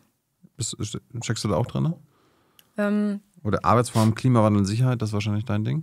Genau, also ähm, wir haben quasi diese 20 Personen in, äh, auch in verschiedene Arbeitsgruppen quasi aufgeteilt, wo eben verschiedene äh, Untergruppen dann auch arbeiten zu diesen Themen. Mhm. Und ähm, diese, ähm, äh, diese Arbeitsgruppe zu Klima und Sicherheit, ähm, da bringe ich mich natürlich am stärksten ein. Ähm, bei der Arbeitsgruppe zu äh, friedenspolitischer Kohärenz habe ich nur äh, punktuell mich eingebracht. Das haben andere Beiratsmitglieder äh, vor allem äh, gemacht. Mhm. Aber wir diskutieren dann Studien, Positionen auch im gesamten Beirat natürlich. Bekommt ihr dafür Geld? Nein. Machst du es umsonst? Ja. Gibt es noch nicht mal irgendwie Aufwandsentschädigungen oder sowas? Also es gibt, glaube ich, ähm, eine Sitzungspauschale. Also doch Geld. Ja, also das kriegen, glaube ich, die, die anreisen außerhalb Berlins. Äh, also können das quasi, wenn sie anreisen, beantragen, um dann ihre Verpflegung sicherzustellen. Okay. Ähm, aber nein, also eigentlich, äh, also nehmen wir da kein Geld für. Also das ist ein Ehrenamt, das wir ausführen. Hätte ja sein können. Ja. Warum bist du da Co-Vorsitzende? Ähm, also man äh, wird in den Beirat nominiert durch die äh, Bundesregierung und ähm, in den Vorsitz kann man dann gewählt werden. Ja, und ich wurde dann gewählt. Wer hat dich nominiert von der Bundesregierung? Ähm, das ist ein Verfahren, das die Ressorts, also alle beteiligten Ressorts, äh, gemeinsam äh, beschließen. Und hm. eingeladen wird, das Schreiben kommt dann ähm, aus dem Auswärtigen Amt. Hast du sofort Ja gesagt? Ja, ich habe ja gesagt, klar. Aber sofort oder hast du irgendwie gesagt, ja, was mache ich denn da? Und, äh ähm, naja, das ist natürlich äh, eine große Verantwortung, die auch damit einhergeht. Ähm, natürlich habe ich mir überlegt, kann ich die zeitlichen Ressourcen dafür aufbringen? Was umfasst das alles? Äh, meinem Arbeitgeber auch gesprochen natürlich. Mhm. Ähm, und ähm, äh, ob das äh, damit vereinbar ist. Und ähm, dann habe ich natürlich ja gesagt. Also ich wollte es sofort machen und die Zusage kam dann auch sehr schnell. Ja, bei, beim Thema Arbeitsvorhaben, friedenspolitische Kohärenz, deutsche Afrikapolitik, globaler Süden, mhm. da ist mir äh, ein, wissenschaftliches Paper vom letzten Jahr äh, eingefallen. Darum wollte ich mal fragen, ob ihr euch damit beschäftigt. Äh, das ist hier Imperialist Appropriation in the World Economy, Drain from the Global South through Unequal Exchange. Äh, mhm. da geht es unter anderem darum, dass der äh, Norden, also der, hauptsächlich der Westen äh, und natürlich auch andere Industriestaaten, äh, den globalen Süden austrocknen mit circa 10 Billionen, äh, also Wert von 10 Billionen Dollar pro Jahr, also 10.000 Milliarden Euro, also anhand von Ressourcen und alles Mögliche, was wir dort äh, aus Afrika und so weiter entziehen. Und ähm, die, das Verhältnis zwischen Ausbeutung und Entwicklungshilfe ist 30 zu 1. Also wir, wir ziehen 30 mal mehr Wert aus dem globalen Süden an, äh, als dass wir als Entwicklungshilfe dorthin geben. Beschäftigt euch damit, dass wir quasi jedes Jahr das Problem immer noch schlimmer machen. Ähm, also ich weiß nicht, ob das Papier in der Studie zitiert wird. Das kann ich jetzt spontan sozusagen nicht nachvollziehen. Ähm, aber mit dieser Thematik beschäftigen wir uns natürlich. Und das ist auch etwas, was man mit Hinblick auf die deutsche, auf die europäische Klimapolitik diskutieren sollte. Mhm. Weil ähm, natürlich die Frage im Raum steht, wir wollen den europäischen Green Deal umsetzen, erneuerbare Energien nutzen und so weiter. Und dafür braucht es natürlich auch bestimmte Ressourcen. Und diese Ressourcen, also seltene Erden zum Beispiel, ja, ähm, diese Ressourcen ähm, ähm, brauchen eben auch, äh, können wir nicht komplett innerhalb Europas nur abbauen, ähm, sondern brauchen dafür auch Handelspartnerschaften oder auch das ganze Thema Wasserstoff. Ähm, wie kann ich ähm, äh, grünen Wasserstoff produzieren, möglicherweise in Form von Ammonium auch importieren, ähm, um äh, Energie zu gewinnen. Ähm, und wie kann ich solche Partnerschaften aufbauen, die auf Augenhöhe passieren oder die ähm, beiden Seiten zugutekommen und eben nicht nur uns selbst in Deutschland, ja, und einer äh, globalen äh, Elite äh, letztlich. Und das sind sehr, sehr schwierige Fragen und letztlich auch ähm, ja, mit, äh, mit großen Herausforderungen im Bereich der Governanz verbunden. Und ich glaube, auch um solche Partnerschaften zu etablieren, brauchen wir beispielsweise auch eine starke äh, Klima-Innenpolitik. Ähm, weil wir sonst einfach auch wenig äh, glaubwürdig sind ähm, in solchen ähm, Verhandlungen um äh, Partnerschaften für die Umsetzung unserer Ziele. Oder wolltest du auf einen anderen Punkt Nee, heraus? aber ich, ja. ich glaube, äh, wenn wir jetzt, wenn wir jetzt jedes Jahr 10.000 Milliarden Euro plus machen bei dieser Handelspartnerschaft zwischen globalem Norden und globalem Süden, dann ist, ist das, glaube ich, keine Handelspartnerschaft, oder? Oder wenn, wenn das Verhältnis zwischen was wir nehmen, von den 30 zu 1 ist und was im Verhältnis zu dem, was wir geben. Wie, würde, wie, würdest du das nennen, die, diese Realität? Das ist ja keine Handelspartnerschaft. Nein, ich meinte jetzt konkrete Projekte, ja. also einzelne äh, Handelsbeziehungen beispielsweise um grünen Wasserstoff. Aber, aber, das ist ja nichts Konkretes, das ist jetzt ja, das, das, groß, ist, das genau, große Ganze. Mh, genau. Ähm, natürlich gibt es sehr, sehr starke ähm, ähm, neokoloniale ähm, mhm. und äh, ausbeuterische Strukturen, ähm, die eben sich in solchen Zahlen dann auch äh, ja, also niederschlagen bzw. ausdrücken. Und ja. Ähm, das ist natürlich eine große Ungerechtigkeit. Also, und deswegen, um das nochmal äh, zu, zu verdeutlichen, was ich meine, ähm, deswegen braucht es eben auch die, ähm, diesen Blick, vielleicht auch den feministischen Blick ähm, auf die Umsetzung des europäischen Green Deals, damit wir eben dieses Muster, was ja existiert, unabhängig jetzt von, äh, von unseren Plänen zum Klimaschutz, wenn wir Klimaschutz umsetzen, nicht immer weiter zu replizieren oder zu verstärken, sondern jetzt zu sagen, okay, wenn wir jetzt äh, Ressourcenpartnerschaften brauchen für die Verwirklichung des europäischen Green Deals und diese brauchen wir, dann müssen wir sicherstellen, dass in den Lieferketten Menschenrechtsstandards gewahrt werden. Dann müssen wir sicherstellen, dass wenn wir Energie in welcher Form auch immer importieren, beispielsweise in Form von äh, Wasserstoffprojekten, dass wir dann auch ähm, Energiearmut in den Ländern, in den betroffenen Ländern senken und nicht einfach nur extraktivistisch vorgehen und diese Spreizung zwischen arm und reich, die ja auch in den Ländern selbst vorherrscht, immer weiter ausdehnen oder vergrößern. Das Papier sagt übrigens auch das, was du jetzt äh, seit zwei Stunden uns erklärt hast, dass äh, wir beuten den globalen Süden aus, wir werden immer reicher dadurch, äh, wir, wir ähm, verschwenden immer mehr CO2 und am Arsch ist der globale Süden hauptsächlich. Das steht da wörtlich drin. Das ja, nicht, nicht. Nee, das habe ich jetzt so paraphrasiert. The impact of excess resource consumption in the north is offshore to the south. Ja.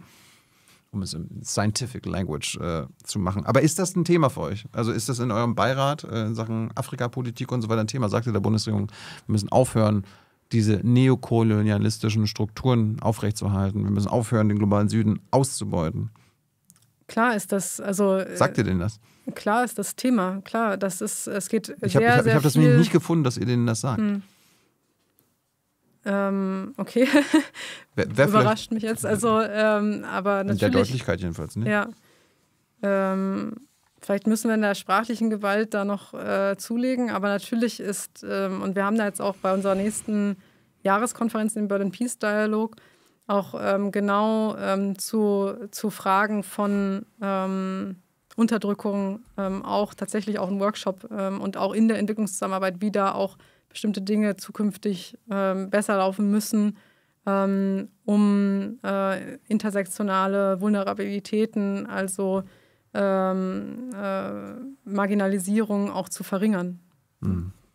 Ich bin jetzt fast durch. Ihr habt jetzt noch eine letzte Chance, Hans, eure Fragen ähm, zu stellen. Äh, kommt dann gleich mit, mit, den Publikumsfragen an dich, Kira. Ich habe noch mal äh, zwei kurze Themen auf dich bezogen, weil ich habe in der Vorbereitung oftmals irgendwie bei dir gelesen, wenn du in anderen Sendungen bist oder irgendwie ähm, irgendwo vorgestellt wirst, dass du Klimafolgenforscherin oder Klimaforscherin sogar genannt wirst. Äh, das suggeriert für mich immer so ein bisschen, Natur, dass du eine Naturwissenschaftlerin bist. Nein, ich bin keine Naturwissenschaftlerin. Ähm, das ist leider oft wird's ein bisschen vermischt. Mhm. Ähm, Klimafolgenforschung, finde ich, passt schon eher, weil es eben ne, die sekundären, tertiären Folgen sind, die menschlichen Folgen des Klimawandels. Denken aber, aber auch wahrscheinlich auch viele an Naturwissenschaft dann, ne? Also das ist eine Naturwissenschaft. Ja, aber zu, den Klima, zu der Klimafolgenforschung gehört auch die Ökonomie, es gehört auch die Politikwissenschaft. Ja. Ähm, weil es eben auch den Menschen betrifft. Und es geht ja nicht nur um die Umwelt. Aber genau, also. Ähm, Aber Klimaforscherin wurdest du, wurdest du auch mal genannt. Das fand ich dann auch interessant. Ja, genau. Also, das äh, trifft so sozusagen nicht zu. Ähm, ähm, und ähm, das. Du bist Politikwissenschaftlerin, ne? Genau, ich habe äh, zu Klimamigration promoviert mhm. im Fach Politikwissenschaften. Mhm. Mein Studienhintergrund ist internationale Beziehungen. Und ähm, genau, also das, das äh, ist natürlich jetzt ganz, kein ganz klassisches Thema der Politikwissenschaft. Ähm, aber es ist auch kein naturwissenschaftliches Thema. Ne? Und insofern ähm, ist es so ein, äh, ja, einfach äh, eine, eine, Forschung, ähm, die aus verschiedenen Disziplinen auch letztendlich, ähm, ja, Fakten betrachtet. Ja. Ich, ich hatte vorhin am Anfang schon angesprochen, du hast in Hawaii und Japan studiert. Genau, ich habe meinen. Wie, wie bist du denn gekommen? Wie kann man sich das leisten? Ähm, also ähm, ich habe mich in Honolulu ähm, auf einen Bachelor beworben und habe da ein Stipendium für Gesang bekommen. Wie du hast am Abi gedacht, ich will in Honolulu studieren? Ja, Geil. ich wollte internationale Beziehungen studieren. Und, Wie bist du ähm, auf Honolulu gekommen? Äh, ich habe das gegoogelt, ehrlich gesagt. Also ich habe internationale Beziehungen gegoogelt und habe gesehen, dass sie eine sehr gute Uni dafür haben, mit sehr internationalen kleinen Kursen, und äh, habe mich dann beworben, habe dann ein hm. Stipendium bekommen für das Singen in einem Ensemble der Universität. Obwohl und du internationale Beziehungen studieren wolltest. Genau, das ist quasi, in den USA gibt es ja auch so Sportstipendien. Da studierst du ja auch nicht Sport, sondern du studierst irgendwas und kriegst dann für dein ja. Footballteam oder was auch immer ein Stipendium. Bei mir war es eben der Gesang. Ich habe dann ein Tape hingeschickt. Warum konntest du gut singen? Ich war im Schulchor. Und ähm, ja, dann hat das, hat das geklappt. Äh, und meine Eltern haben mich unterstützt. Also es war beides, aber äh, ohne dieses Stipendium hätte es halt nicht geklappt. Ne? Und ich habe dann auch gearbeitet, habe gekellnert. Und ja, so habe hab ich dann ähm, da meine Zeit dort verbracht. Also ähm, es war eine sehr besondere Zeit. Dann nebenbei gesurft? Mm, ja, mehr schlecht als recht, da ich habe auch gesurft, ja. Hast du in der Schulzeit dann, wo, wo warst, warst du eine richtig gute Sängerin oder was? Ich glaube, ähm, also es gab sicher auch bessere äh, im, in meinem Schulchor, aber ich habe immer sehr gerne gesungen. Und ähm, ja, ich habe mein Tape dahin geschickt, da haben mir meine Mitschüler noch geholfen, das aufzunehmen. Hm. Und ähm, dann haben sie mich angenommen äh, in Hawaii und also in Honolulu. Und ähm, dann muss man jedes Semester dann auch, also man hat dann dreimal pro Woche zwei bis vier Stunden Chor und dann an den Wochenenden Auftritte. Das wäre jetzt meine Frage gewesen bei, den, mhm. bei den Footballteams. Die treten ja gegeneinander an, College ja, Football und so weiter und so fort. Genau, also das hatten wir jetzt äh, nicht so stark, also sehr viele Konzerte, aber du musstest am Semesterende immer vorsingen und dann war das Teil deiner Bewertung, ob du im nächsten Jahr das Stipendium verlängert bekommst. Hast du immer geschafft? Ja. Ja. Aber habt ihr, seid ihr auch gegen andere Chöre angetreten? Nee, das, ähm, das passiert, das glaube ich, gewesen, stärker. Wenn, wenn, ihr nach Texas und nach ja. Arkansas fliegen müsst und dann so. Ich glaube, wenn man in den USA, also äh, nicht auf der Insel sozusagen studiert, sondern in den USA, dann gibt es das eher. Bei uns gab es das nicht so stark. Wir haben ähm, aber viel äh, auf der Insel gesungen. Also das war eine ganz äh, tolle Erfahrung, aber war auch harte Arbeit, klar. Also es ist auch anstrengend und ähm, ähm, klar, man, man, muss sich da sehr anstrengen, um die Studienleistung ähm, sehr gut zu beschließen und auch äh, dieses Pensum an Gesang und Auswendiglernen in verschiedenen Sprachen dann auch zu schaffen. Also es war, ähm, ja, aber es war auch eine tolle Gemeinschaft der Chor. Und bist du durch deine durch dein Singen auch in Japan gelandet? Nee, das war davon unabhängig. Ähm, in Japan habe ich dann ein Auslandssemester gemacht, also von Hawaii dann nach Japan. Äh, ein Semester und dann wieder zurück. Ähm, habe auch dann Japanisch etwas gelernt. Hm. Und ähm, ja, das äh, war dann nochmal eine ganz andere Welt, eine ganz andere Kultur.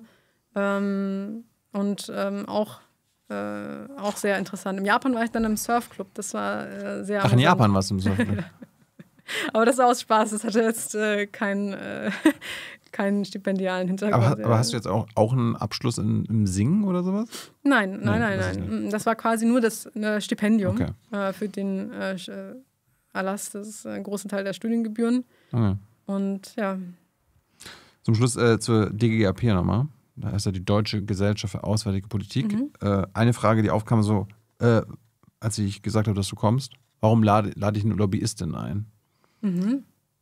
Bist du eine Lobbyistin? Nein, so würde ich mich äh, so nicht definieren. Ähm, also wir sind unabhängig. Ähm, wir sind äh, nicht an Parteien gebunden. Ich habe auch persönlich kein Parteibuch. Ähm, was ich schon sagen kann, ist, dass ich, wir uns im Zentrum für Klima- und Außenpolitik für die Einhaltung des Pariser Klimaabkommens einsetzen. Also für die völkerrechtlichen Verpflichtungen unter dem Pariser Klimaabkommen. Aber das würde ich jetzt, äh, weil das jetzt der Allgemeinheit zugutekommt, nicht als Lobbyismus definieren. Hätte, hätte mich jetzt auch gewundert, ja. aber ich habe dann mal ins Lobbyregister des ja, Bundes... Ja, da sind wir registriert. Lo Im Lobbyregister mhm. des Bundestages geguckt, da ist nicht nur die DGAB äh, registriert. Ja, da bin ich auch du bist auch ein... Äh, Klar, wenn du im Bundestag äh, bist, musst du dich eintragen lassen, ja. Also klar. bist du laut Bundestag eine Lobbyistin? Ja, das äh, so... Ja, das stimmt. Ähm, aber es ist eben. Wofür lobbyierst du denn im Bundestag? Das habe ich, ähm, also um das nochmal kurz zu wiederholen, ähm, also für, den, für, die, äh, für das Einhalten der Verpflichtungen unter dem Pariser Klimaschutzabkommen. Aber das Lobbyregister wurde ja erschaffen, ähm, um mehr Transparenz herzustellen. Mhm. Weil du mich vorhin gefragt hast, was ist, äh, bist du Lobbyist? Und ich Nein geantwortet habe, um das nochmal natürlich ist mir bewusst, dass ich auch im Lobbyregister, ich habe mich ja selbst dort registriert, mhm. ähm, äh, um das noch kurz zu erklären, nicht, dass da Verwirrung entsteht. Ähm, warum ich Nein gesagt habe, ist, dass für mich einen großen Unterschied äh, besteht darin, ob man sich für etwas einsetzt, ähm, was ähm, ja, grundgesetzlich verankert ist. Also wir sind ja per Grundgesetz dazu verpflichtet, ähm, Klimaschutz zu betreiben, hat das Verfassungsgericht ja bestätigt. Ähm, oder wozu wir völkerrechtlich uns verpflichtet haben, was also der Allgemeinheit zugutekommt. Oder ähm, ob wir uns ähm, ähm, eben für etwas einsetzen, was uns persönlich bereichert. Ja? Also wofür wir dann ja. äh, persönlich Geld äh, für einstecken, weil wir in einem profitorientierten Unternehmen aktiv sind. Ich mein, ich, ich Insofern, also nur damit da keine Missverständnisse ankommen, ich wollte das jetzt nicht verheimlichen, dass ich im Lobby Lobbyismusregister registriert bin. Das ist, äh, das ist gut und richtig so, dass es dieses Register gibt. Und Lobbyismus ist ja per, per se jetzt erstmal nicht schlecht. Man kann ja auch gegen, keine, gegen Armut lobbyieren. Ja, äh, aber ich als, würde als, mich als Wissenschaftlerin als bezeichnen und nicht als Lobbyistin. Aber du bist auch qua Bundestag auch äh, Lobbyistin. Äh, oder genau, wenn du für Greenpeace lobbyieren würdest, das ist ja dann auch, bist auch quasi Lobby, aber ist halt für die gute Sache. Die Frage genau, ist. Genau, aber das ist ja noch ein Unterschied, ob ich Aktivist bin. Also ich würde Greenpeace auch nicht als Lobbyisten, sondern eher als Aktivisten oder zivilgesellschaftliche Organisation ähm, bezeichnen. Und das ist ja noch ein Unterschied, ähm, ob ich jetzt Wissenschaft betreibe und Politikberatung mache, ob ich für ein Unternehmen arbeite und versuche, Politik beeinflussen zugunsten meines Unternehmens oder ob ich Aktivistin bin mit einer politischen Agenda und versuche dann darauf Einfluss zu nehmen. Also es sind für mich drei verschiedene Sachen, aber alle drei sind dazu verpflichtet, sich im Lobbyismusregister mhm. zu registrieren. Und das ist auch richtig so. Aber trotzdem würde ich mich jetzt allein aufgrund dieser Tatsache nicht als Lobbyistin definieren. Aber wenn man, wenn du das jetzt sagst, dass du das so siehst, finde ich das auch. Nee, der Bundestag sieht das okay. so. Der, der, Bundestag sieht das so. Äh, aber die DGAP, ist mhm. das eine Lobbyorganisation? Nein, aber sie ist trotzdem im äh, Bundesregister für Lobbyismus äh, registriert, wie auch andere Thinktanks. Also es ist ein Think Tank. Ähm, wir haben ein Forschungsinstitut, das Forschung betreibt und eben auch ähm, Politikberatung äh, betreibt. Also ich habe mal bei Lobbypedia nachgeguckt. Äh, DGP ist ein Think Tank, der sich als nationales Netzwerk für deutsche Außenpolitik versteht. Seine Gremien werden von Vertretern der Wirtschaft und deren Lobbyorganisationen dominiert. Äh, sind in dieser äh, in der DGAP auch das fossile Kapital vertreten? Ähm, also das Forschungsinstitut ist unabhängig ähm, in seinen, ähm, in seinen äh, Arbeiten. Also ich lege jetzt nicht jemandem im Fördererkreis meine Publikationen vor, bevor ich sie veröffentliche. Ja. Aber im Fördererkreis ähm, sind große Wirtschaftsunternehmen vertreten. Dazu gehören auch ähm, beispielsweise Auto, Automobilindustrie. Mhm. Oder ja, andere fossile, fossile Unternehmen, oder genau. Fossile ja. mhm. Und äh, der DGAP ist ja auch Teil des Transatlantic Policy Networks. Äh, laut Wikipedia Lobby, Lobby, heißt eine Lobbyorganisation europäischer und amerikanischer Großkonzerne, die Einfluss auf die Zusammenarbeit zwischen EU und den USA nehmen wollen. Also die haben geschäftliche Interessen da drin. Warum also ist, die DGA ist die DGAP eigentlich nicht eine Lobby? Mm, also ihr, ihr macht, die, macht, die macht ja auch gemeinsame Projekte mit der deutschen Rüstungsindustrie zum Beispiel und so weiter. Ähm, also die DGAP hat Projekte durch verschiedene Förderer. Mhm. Ähm, aber was sehr wichtig ist, egal wer fördert, äh, die Forschung ist unabhängig, also darf sozusagen nicht äh, beeinflusst werden durch ähm, ähm, die Förderer. Deswegen werden beispielsweise ähm, Projekte, die von der Rüstungsindustrie äh, angeboten werden, aber eine bestimmte politische Richtung vertreten oder ein bestimmtes Interesse verfolgen, können so nicht angenommen werden. Ähm, unsere Finanzierungen sind von, von Stiftungen, beispielsweise in Klima-Außenpolitik haben wir keine äh, fossilen Unternehmen, die uns fördern. Also das Zentrum ist nicht von fossilen Unternehmen gefördert. Äh, wir sind von Stiftungen und dem Auswärtigen Amt gefördert. Aber auch da ist es so, ähm, wir sind per Satzung unabhängig und unparteiisch. Das heißt, und darauf kann ich, und das, deswegen fühle ich mich auch wohl in der DGAP, ähm, kann ich auch, wenn, falls es mal dazu kommt, das ist bisher noch nicht dazu gekommen, es Druck gäbe, mhm. ähm, eine bestimmte Position zu vertreten, kann ich immer sagen als Wissenschaftlerin, nein, in der Satzung steht, ähm, dass wir überparteiisch sind und unabhängig. Und es darf keine Einflussnahme auf unsere Forschung geben. Im Prinzip könnte man, könnte man den Kritiker so formulieren, äh, diese DGAP ist halt Teil einer, äh, eines Lobbynetzwerks, was äh, Konzerninteressen, äh, westlichen Konzerninteressen dienen soll. Und diese westlichen Konzerninteressen, hatten wir jetzt seit zwei Stunden drüber geredet, sind ja im Großen und Ganzen der Erhalt des Status quo. Ähm, also ist es ist so, dass das. Ist es nicht problematisch aus deiner Sicht? Würde man sich da vielleicht nicht einen anderen Arbeitgeber wünschen? Ähm, also aus meiner Sicht ist es so, ähm, dadurch, dass das Forschungsinstitut komplett unabhängig ist, also ähm, das ist auch in unserer Satzung festgeschrieben, ähm, dass wir da keinen Interessenskonflikt haben. Ähm, und auch beispielsweise unsere Forschung von Stiftungen wie zum Beispiel der Robert Bosch Stiftung finanziert wird und nicht jetzt von fossilen Unternehmen, wie du gerade äh, suggerierst. Und ähm, deswegen würde ich ähm, da nicht mitgehen äh, mit dieser Analyse. Und ich denke auch, dass wir ähm, schon auch durch diese ähm, ähm, ähm, durch diese Zusammenkunft von verschiedenen Akteuren, die die DGAP tatsächlich zusammenbringt, wir sind ja eine Mitgliederorganisation. Also jeder kann Mitglied werden. Du könntest Mitglied werden, ich bin Mitglied. Ähm, und also jeder, der demokratischen Interessen entspricht. Ja. Ähm, und ähm, da kommen ganz unterschiedliche Menschen zusammen, auch Unternehmensvertreter natürlich. Und ähm, dass das auch ein wichtiger Punkt ist für die Außenpolitik und für ähm, ein besseres Verständnis in der Gesellschaft, weil ähm, wir ja diese schwierigen Themen auch mit der Wirtschaft diskutieren müssen. Wir können ja nicht einfach nur sagen, und das ist ja auch der Unterschied zwischen vielleicht Aktivismus und äh, Politikberatung, ähm, dass man eben diese Themen auch mit verschiedenen ähm, Vertretern, Interessengruppen diskutiert. Und das machen wir auch immer wieder. Also wir laden auch tatsächlich Leute von verschiedenen Unternehmen auch ein zu Veranstaltungen und äh, lassen sie auch Fragen stellen, auch an uns Wissenschaftler. Und ich finde das richtig. Also ich finde schon, dass man miteinander reden muss, sonst wird es keinen Wandel geben. Aber es ist also, und das will ich nochmal ganz stark sagen, äh, wir sind unabhängig. Es gibt keine Einflussnahme durch Unternehmen ähm, auf die Forschung ähm, der DGAP. Und wir können da sehr frei ähm, agieren. Und das ist etwas, ähm, was es sehr selten gibt, dass man frei forschen und frei seine Meinung äußern darf.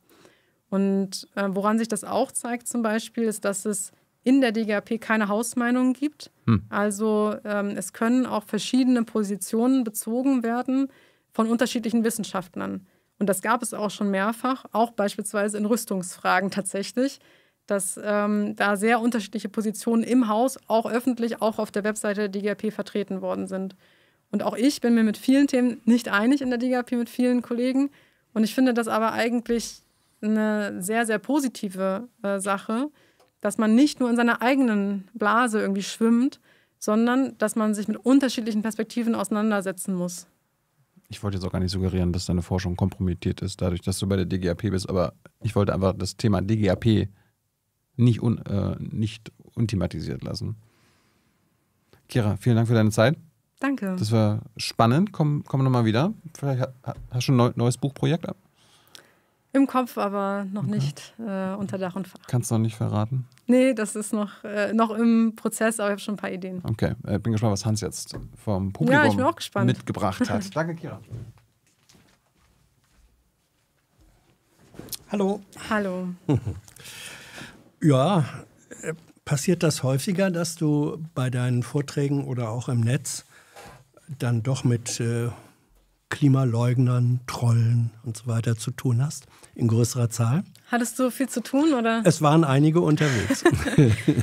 ähm, es ist eigentlich, es hält sich so ein bisschen die Waage. Also mhm. äh, es gibt, ich denke, es gibt immer mehr Menschen, die den Klimawandel auch als großes Problem identifizieren.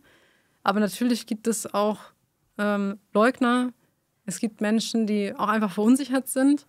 Ähm, es gibt Menschen, die bewusst Zweifel sehen. Und ähm, ja, das ist Desinformation, das ist auch ein großes Thema. Da haben wir gar nicht so viel drüber gesprochen mhm. gerade.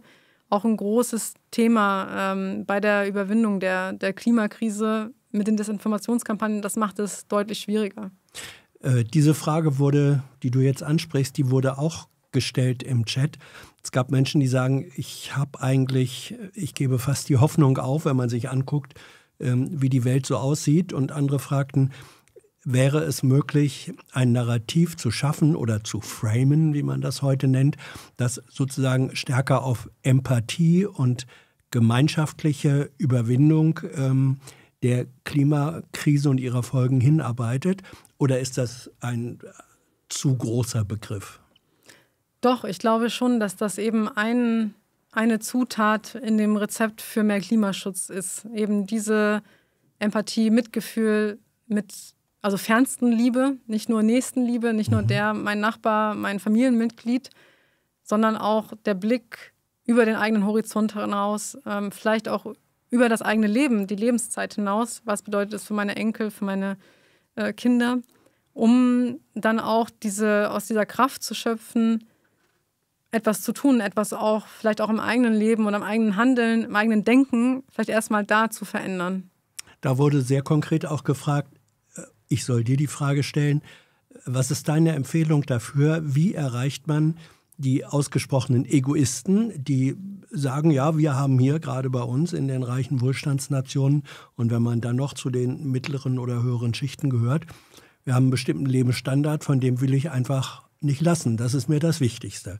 Also sozusagen ein durchaus nachvollziehbarer Egoismus, der sagt, mir geht es äh, um meine Besitzstandswahrung. Wie erreicht man die und überzeugt sie davon, dass das keine Perspektive auf Dauer sein kann? Wir werden den Wohlstand nur dann wahren können in Deutschland, wenn wir Klimaschutz betreiben. Wenn wir immer mehr Extremereignisse haben, wird das die Lebensgrundlagen, sagt man immer wieder so schnell, mhm. aber es sind die Grundlagen unseres Lebens, werden erodieren. Und deswegen ist es auch ein egoistisches Interesse, Klimaschutz zu betreiben, weil nur dann können wir unseren Wohlstand über das nächste Jahr hinaus ja absichern. Und wir stehen schon ziemlich nah an dem Abgrund. Und wir müssen jetzt den Schritt zurück machen. Und ähm, klar kann das auch kurzfristig mit ja, Dingen einhergehen, die uns nicht so gut gefallen, ja, oder die uns belasten. Aber das mittelfristige Ziel ist Wohlstand für mehr Personen äh, und auch der Schutz des Wohlstandes. Und das kann eben nur durch mehr Klimaschutz erreicht werden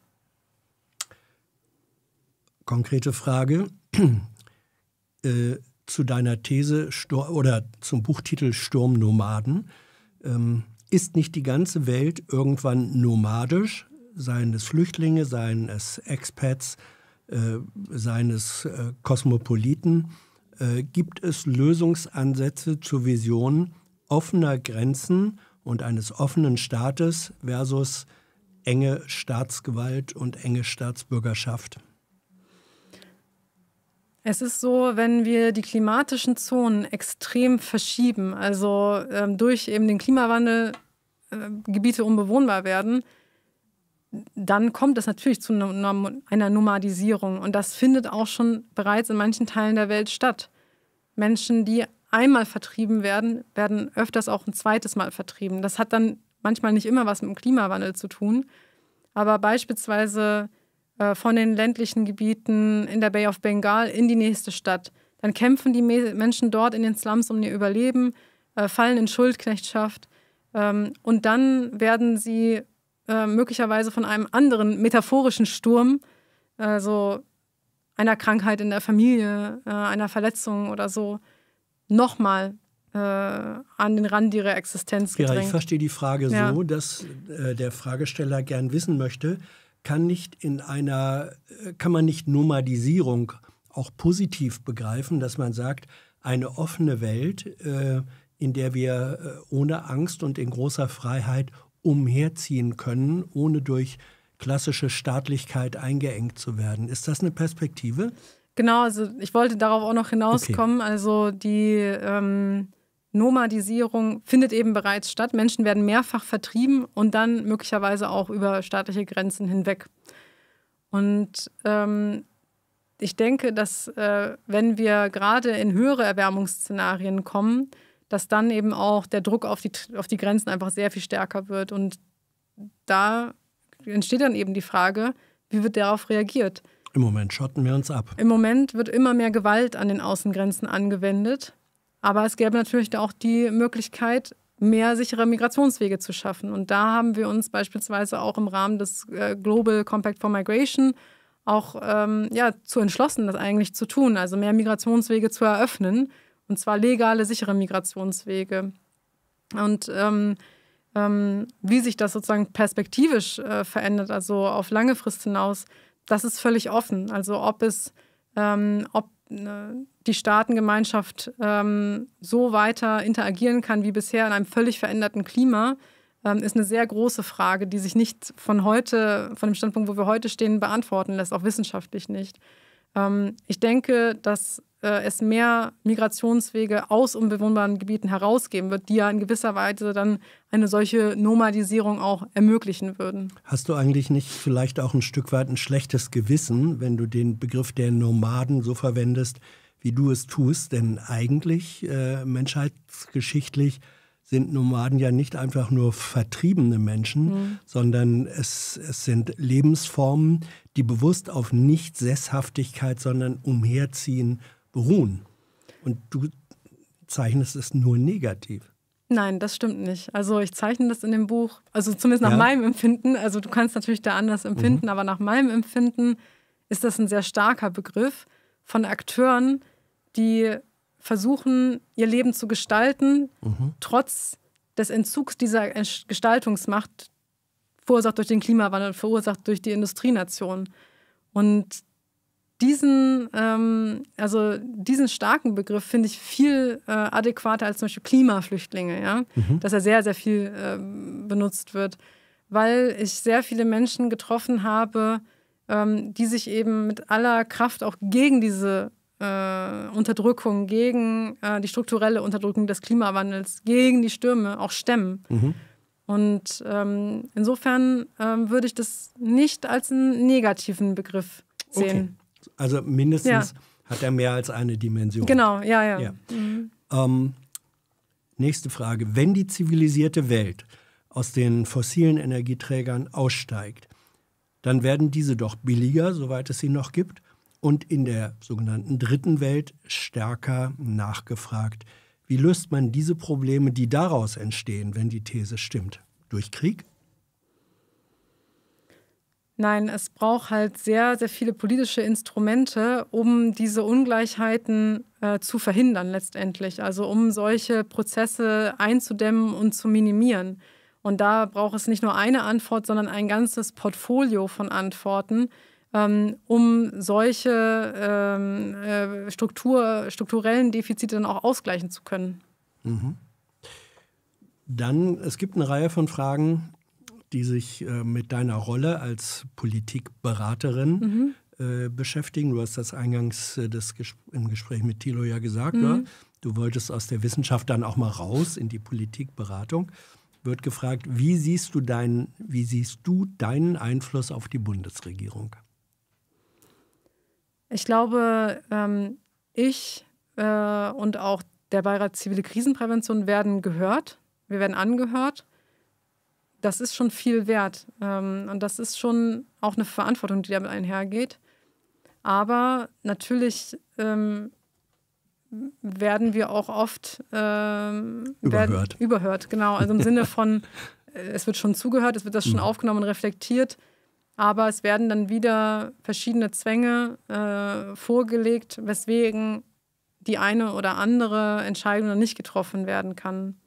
Und das ist natürlich im Bereich des Klimaschutzes insbesondere verheerend, weil wir schon so lange gewartet haben, es schon so lange Verzögerungen gab, ähm, sodass wir heute die Resultate von 30 Jahren Nichtstun sehen, nämlich diese schwerwiegenden klimatischen Extremereignisse, die wir momentan sehen. Insofern, ja, also ich ähm, denke, das ist äh, eine große Chance, angehört zu werden, die wir immer nutzen, wo es geht. Und ich hoffe auch, dass, und das meine ich jetzt nicht nur für den Beirat Zivile Krisenprävention, sondern auch wissenschaftlicher Beirat Globale Umweltveränderung, der Expertenrat für Klimafragen, ja, der ja jetzt auch gerade gesprochen hat, also seine mhm. Analysen vorgelegt hat, dass dieser Rat ernst genommen wird. Auf dem Stuhl, wo, auf dem du jetzt sitzt, hat auch John Schellenhuber äh, schon mhm. gesessen, sozusagen, wenn man so will, der Papst äh, der Klima- äh, und Klimafolgenforschung. Ähm, und äh, der hat ähm, nicht in dem Gespräch hier, aber an anderer mhm. Stelle äh, gelegentlich mal gesagt, naja, also er war ja lange Zeit, galt er als, der, als ein wichtiger Berater von Angela Merkel. Er hat gesagt, ähm, Frau Merkel weiß das eigentlich alles, was ich ihr sagen kann, auch im Hinblick auf Klima und Folgen und was nötig wäre. Sie weiß das alles und wenn ich ihr das sage, dann höre ich manchmal, ja, ich weiß das, ähm, aber ich kenne auch die Grenzen meiner Möglichkeiten. Geht dir das ähnlich? Ist das eine äh, strukturelle Erfahrung von kritischen Wissenschaftlern, wie ihr euch wohl so versteht? Ähm, also äh, John Schellnhuber hatte natürlich da eine ganz andere äh, äh, Beratungsnähe.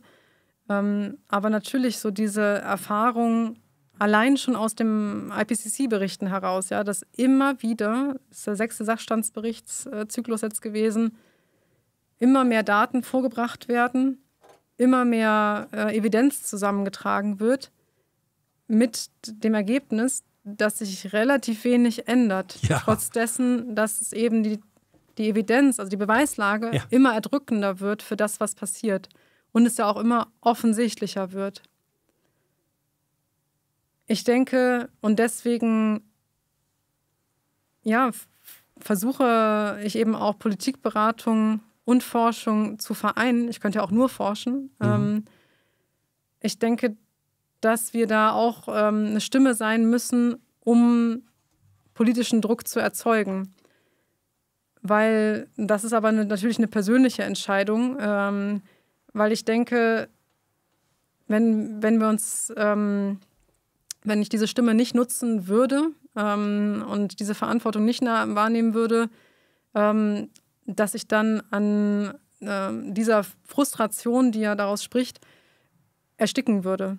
Und ich, ähm, ich sehe aber schon auch die Zwänge, die den Politikerinnen und Politiker unterlegen.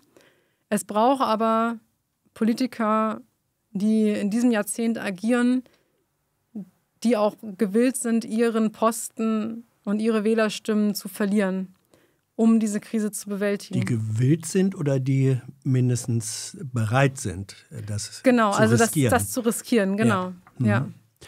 Ähm, ich will mal indiskret fragen. Äh, also John Schellenhuber, bekannt, war sozusagen wichtiger Berater von Merkel. Ich weiß jetzt nicht, ob du die wichtigste klimapolitische Beraterin von Olaf Scholz Nein. bist.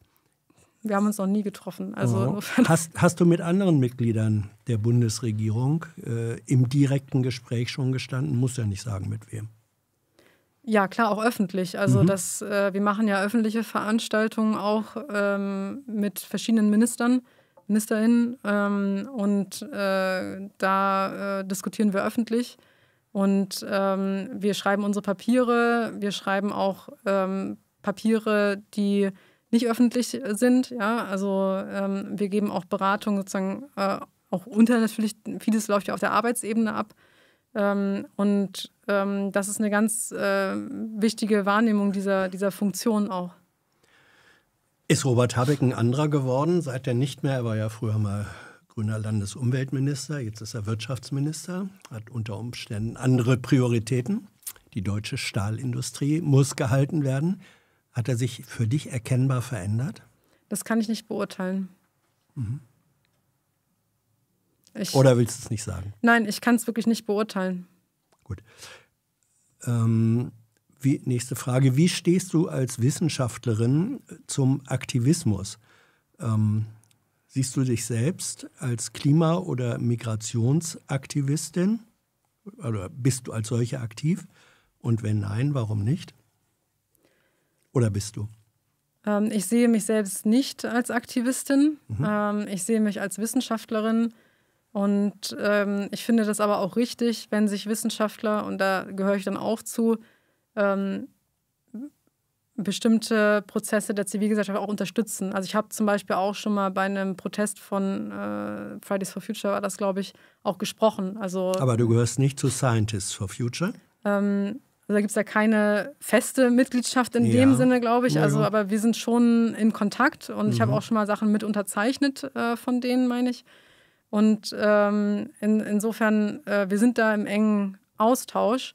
Ähm, aber auch die Scientists for Future würde ich jetzt immer noch in erster Linie als Wissenschaftler bezeichnen und nicht als Aktivisten.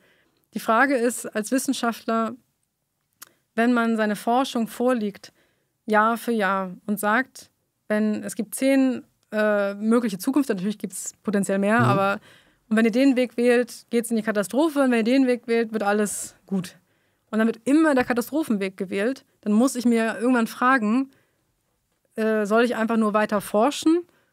Oder, oder frage ich mich, soll ich einfach nur weiter forschen? Oder soll ich versuchen, auch meine Stimme in der Öffentlichkeit, wie jetzt zum Beispiel, mhm. oder äh, in der politischen Beratung ähm, äh, Gehör zu verschaffen? Das ist aber was anderes für mich als ähm, Aktivismus. Ähm, ja. ja. Na gut, vielleicht ja. gäbe es ja auch unterschiedliche Formen von Aktivismus. Ähm, du hast in deinem Buch äh, zwei Szenarien für die Zukunft, zwei, zwei grobe Szenarien gezeichnet und nennst das eine Szenario der Sprung in den Abgrund und das zweite Szenario der Tanz an der Klippe. Das sind äh, mhm. bildhafte Formulierungen. Was bedeuten sie? Ja, ähm, das ist, wie du, wie du sagst, es ist natürlich letztlich eine Metapher. Mhm. Der Tanz an der Klippe bedeutet für mich, ähm, dass wir es schaffen. Das ist das positive Szenario, nicht? Ja, das ja. ist das positive mhm. Szenario was ja aber auch schon mit bestimmten klimatischen Veränderungen einhergeht, wie wir sie jetzt ja auch mhm. erleben. Das heißt, die Menschen, die im Ahrtal gestorben sind, die Menschen, die in Fluten in China gestorben sind, die werden nicht wieder lebendig. Mhm.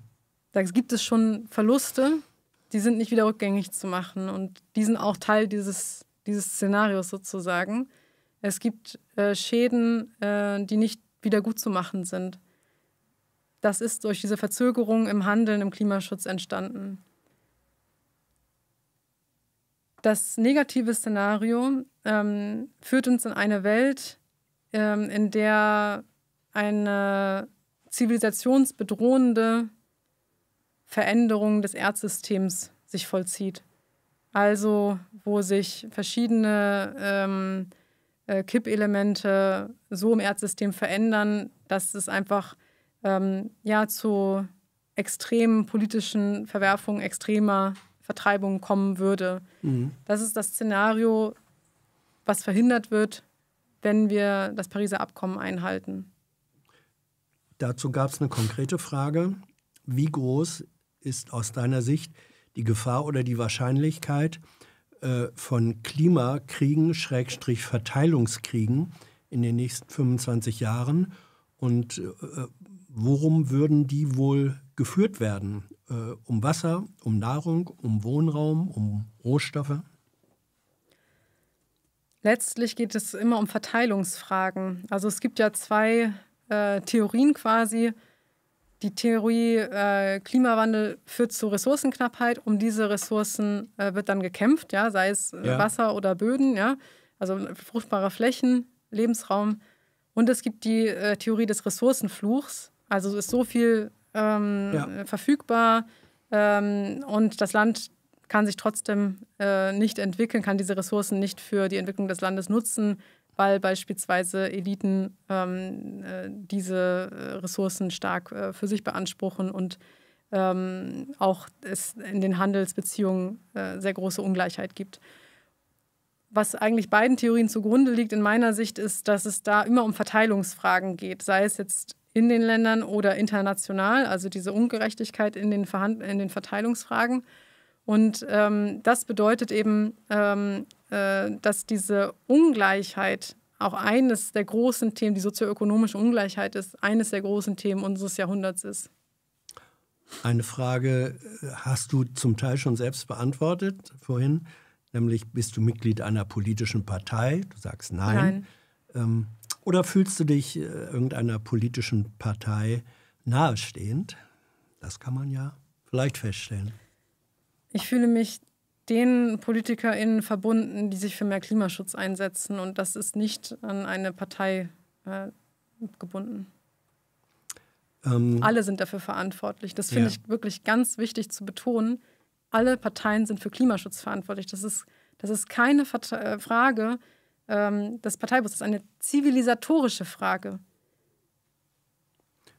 Das bedeutet, ähm, du, du würdest sagen, es gibt auch ein, naja gut, äh, üblicherweise nennt man die Grüne Partei immer noch die Klimapartei und äh, bei den Unionsparteien würden, oder der FDP würden das manche eher bestreiten. Aber sagst du, du kennst aber welche in diesen, ich nenne es jetzt mal konservativen Parteien, die haben eigentlich mehr Klima äh, und Nachhaltigkeit auf dem Schirm als andere, die formal Mitglieder der Klimaschutzpartei sind?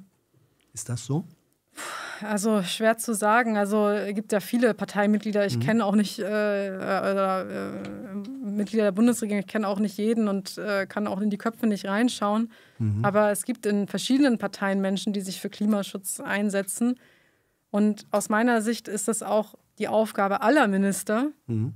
Dieser Bundesregierung, sich für Klimaschutz einzusetzen und nicht nur der grünen Minister zum Beispiel. Mhm. Insofern ähm, ganz, ganz wichtig, dass als gesamtheitliches, gesellschaftliches Problem, Herausforderung ähm, zu verstehen, dass wir gemeinsam über politische Differenzen und Ansichten hinweg überwinden müssen. Zwei Fragen noch. Ähm, eine bezieht sich auf Formulierungen äh, in deinem Buch. Mhm. Ähm, du äußerst dich sehr kritisch über Begrifflichkeiten, die häufig verwendet werden. Flüchtlingsströme, mhm. Flüchtlingsflut. Ähm, du kritisierst diese Begriffe und nennst sie Angstmacherei, vielleicht auch äh, Propaganda. Bei den Flüchtlingsströmen sagst du, wenn man sich die Zahlen anguckt, dann ist das eher ein Rinnsal. Jetzt kann ich mir vorstellen, dass einige sagen werden, Rinnsal, guckt euch doch die Zahlen an. Das ist doch eine Flut. Wie begegnest du diesen Stimmen? Ähm, also ich weiß nicht, ob ich Rinnsal gesagt habe. Ja, das, äh, es sei äh, eher ein Rinnsal. Ja, mhm. also ähm, die äh, generell finde ich diese Wassermetaphern nicht so angebracht. Mhm. Ähm, ähm, aber ab, davon abgesehen ähm, ist es schon so, ähm, dass wenn man das benutzt, man nicht außer Acht lassen darf, dass man über Menschen spricht. und deswegen ähm, finde ich eben, dass diese Welle, Flut, das äh, hat ja sowas sehr stark Bedrohliches, während es ja eigentlich Menschen sind, die Schutz suchen und ähm, äh, die Schutz vor Gewalt suchen und nicht Menschen sind, die uns etwas Bedrohliches zuführen wollen. Und deswegen diese Kritik, aber ich bin jetzt nicht die Sprachpolizei, äh, jeder kann so sprechen, wie er möchte. Ähm, ich finde nur, man muss sich vergegenwärtigen, ähm, was man für Gefühle damit auslöst. Und ähm, deswegen, ähm, deswegen diese äh, Kritik an den Begrifflichkeiten.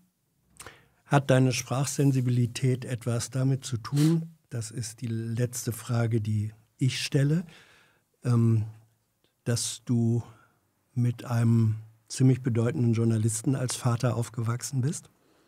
Das hat damit sicher viel zu tun. Äh, meine Eltern sind beides Journalisten, mhm. auch meine Mutter ist Journalistin. Ähm, und äh, natürlich haben sie mir eine Sensibilität für Sprache auch vermittelt. Ich habe deswegen nach dem Vater gefragt. Dein Vater ist Hermann Finke. Mhm. Äh, die etwas Älteren von uns kennen den noch ähm, als Hörfunkjournalisten beim NDR und später dann äh, auch bei Radio Bremen. Disclaimer, ich habe ein paar Jahre bei, mit ihm zusammen bei beiden Sendern gearbeitet. Ähm, inwiefern äh, prägt das dann tatsächlich und welche Auswirkungen hat das auf deine Berufswahl gehabt? Du hättest ja auch sagen können, mit einem solchen Elternpaar gehe ich selber in den Journalismus. Ja, das stimmt. Ähm, ich wollte einfach stärker noch in die Tiefe gehen und mehr Zeit haben, mich mit Themen zu beschäftigen. Ich glaube, das ist vielen Journalisten nicht möglich. Mhm. Ähm, äh, eben sehr viel Zeit auf bestimmte Themen zu verwenden, ähm, Zeit für Forschung zu investieren. Und natürlich hat mich mein Elternhaus extrem äh, dahingehend geprägt und äh, mir auch ähm, ja, diese äh, sprachlichen, äh, diesen sprachlichen, diesen Blick auf Sprache auch äh, geöffnet. Und ähm, das ist, finde ich, auch wichtig, ähm, zu versuchen, zumindest Dinge zugänglich zu machen und sensibel zu sein, was Sprache auch auslösen kann. Und dass Sprache auch Gewalt sein kann. Meine Mutter hat zu mir mal gesagt, als äh, Kind, äh, Wörter sind wie Pfeile. Du musst damit aufpassen, was du machst. Ähm, deine Eltern leben beide noch? Ja. Ich nehme an, du bist mit ihnen äh, im Kontakt, tauscht dich mit ihnen aus. Als Journalist, vor allem als politischer Journalist, wird man ja ein Stück weit auch immer desillusioniert über den äh, politischen Betrieb. Äh, ist, das, ist das im Austausch mit deinen Eltern ähnlich? Warst du vorher schon desillusioniert oder kommen jetzt manchmal in der Erfahrung Dinge dazu, wo du sagst, so habe ich mir, so schlimm habe ich es mir ja früher nicht vorgestellt? Nein, vielleicht ist das der Grund für meine Hoffnung, dass meine mhm. Eltern keine Zyniker sind. Mhm. Kira, danke schön. Danke für deine Zeit, deine Antworten, deine Arbeit. Danke für eure Fragen, eure Unterstützung. Ähm, ihr wisst, ohne die gäbe es dieses Format gar nicht. Und äh, ihr wisst auch, dass Menschen, die im Abspann erscheinen möchten, dies tun können, wenn sie 20 Euro oder mehr an Unterstützung zur Verfügung stellen. Wer im, das geht immer dann von Monat zu Monat, wer im September im Abspann erscheinen möchte, hat noch bis morgen Abend 23.59 Uhr Zeit, äh, das zu tun. Wir freuen uns darüber. Und ihr dürft euch dann hoffentlich auf weitere spannende Gespräche, ähm, Berichterstattung und andere Formate freuen. Danke für heute und bis bald. Tschüss.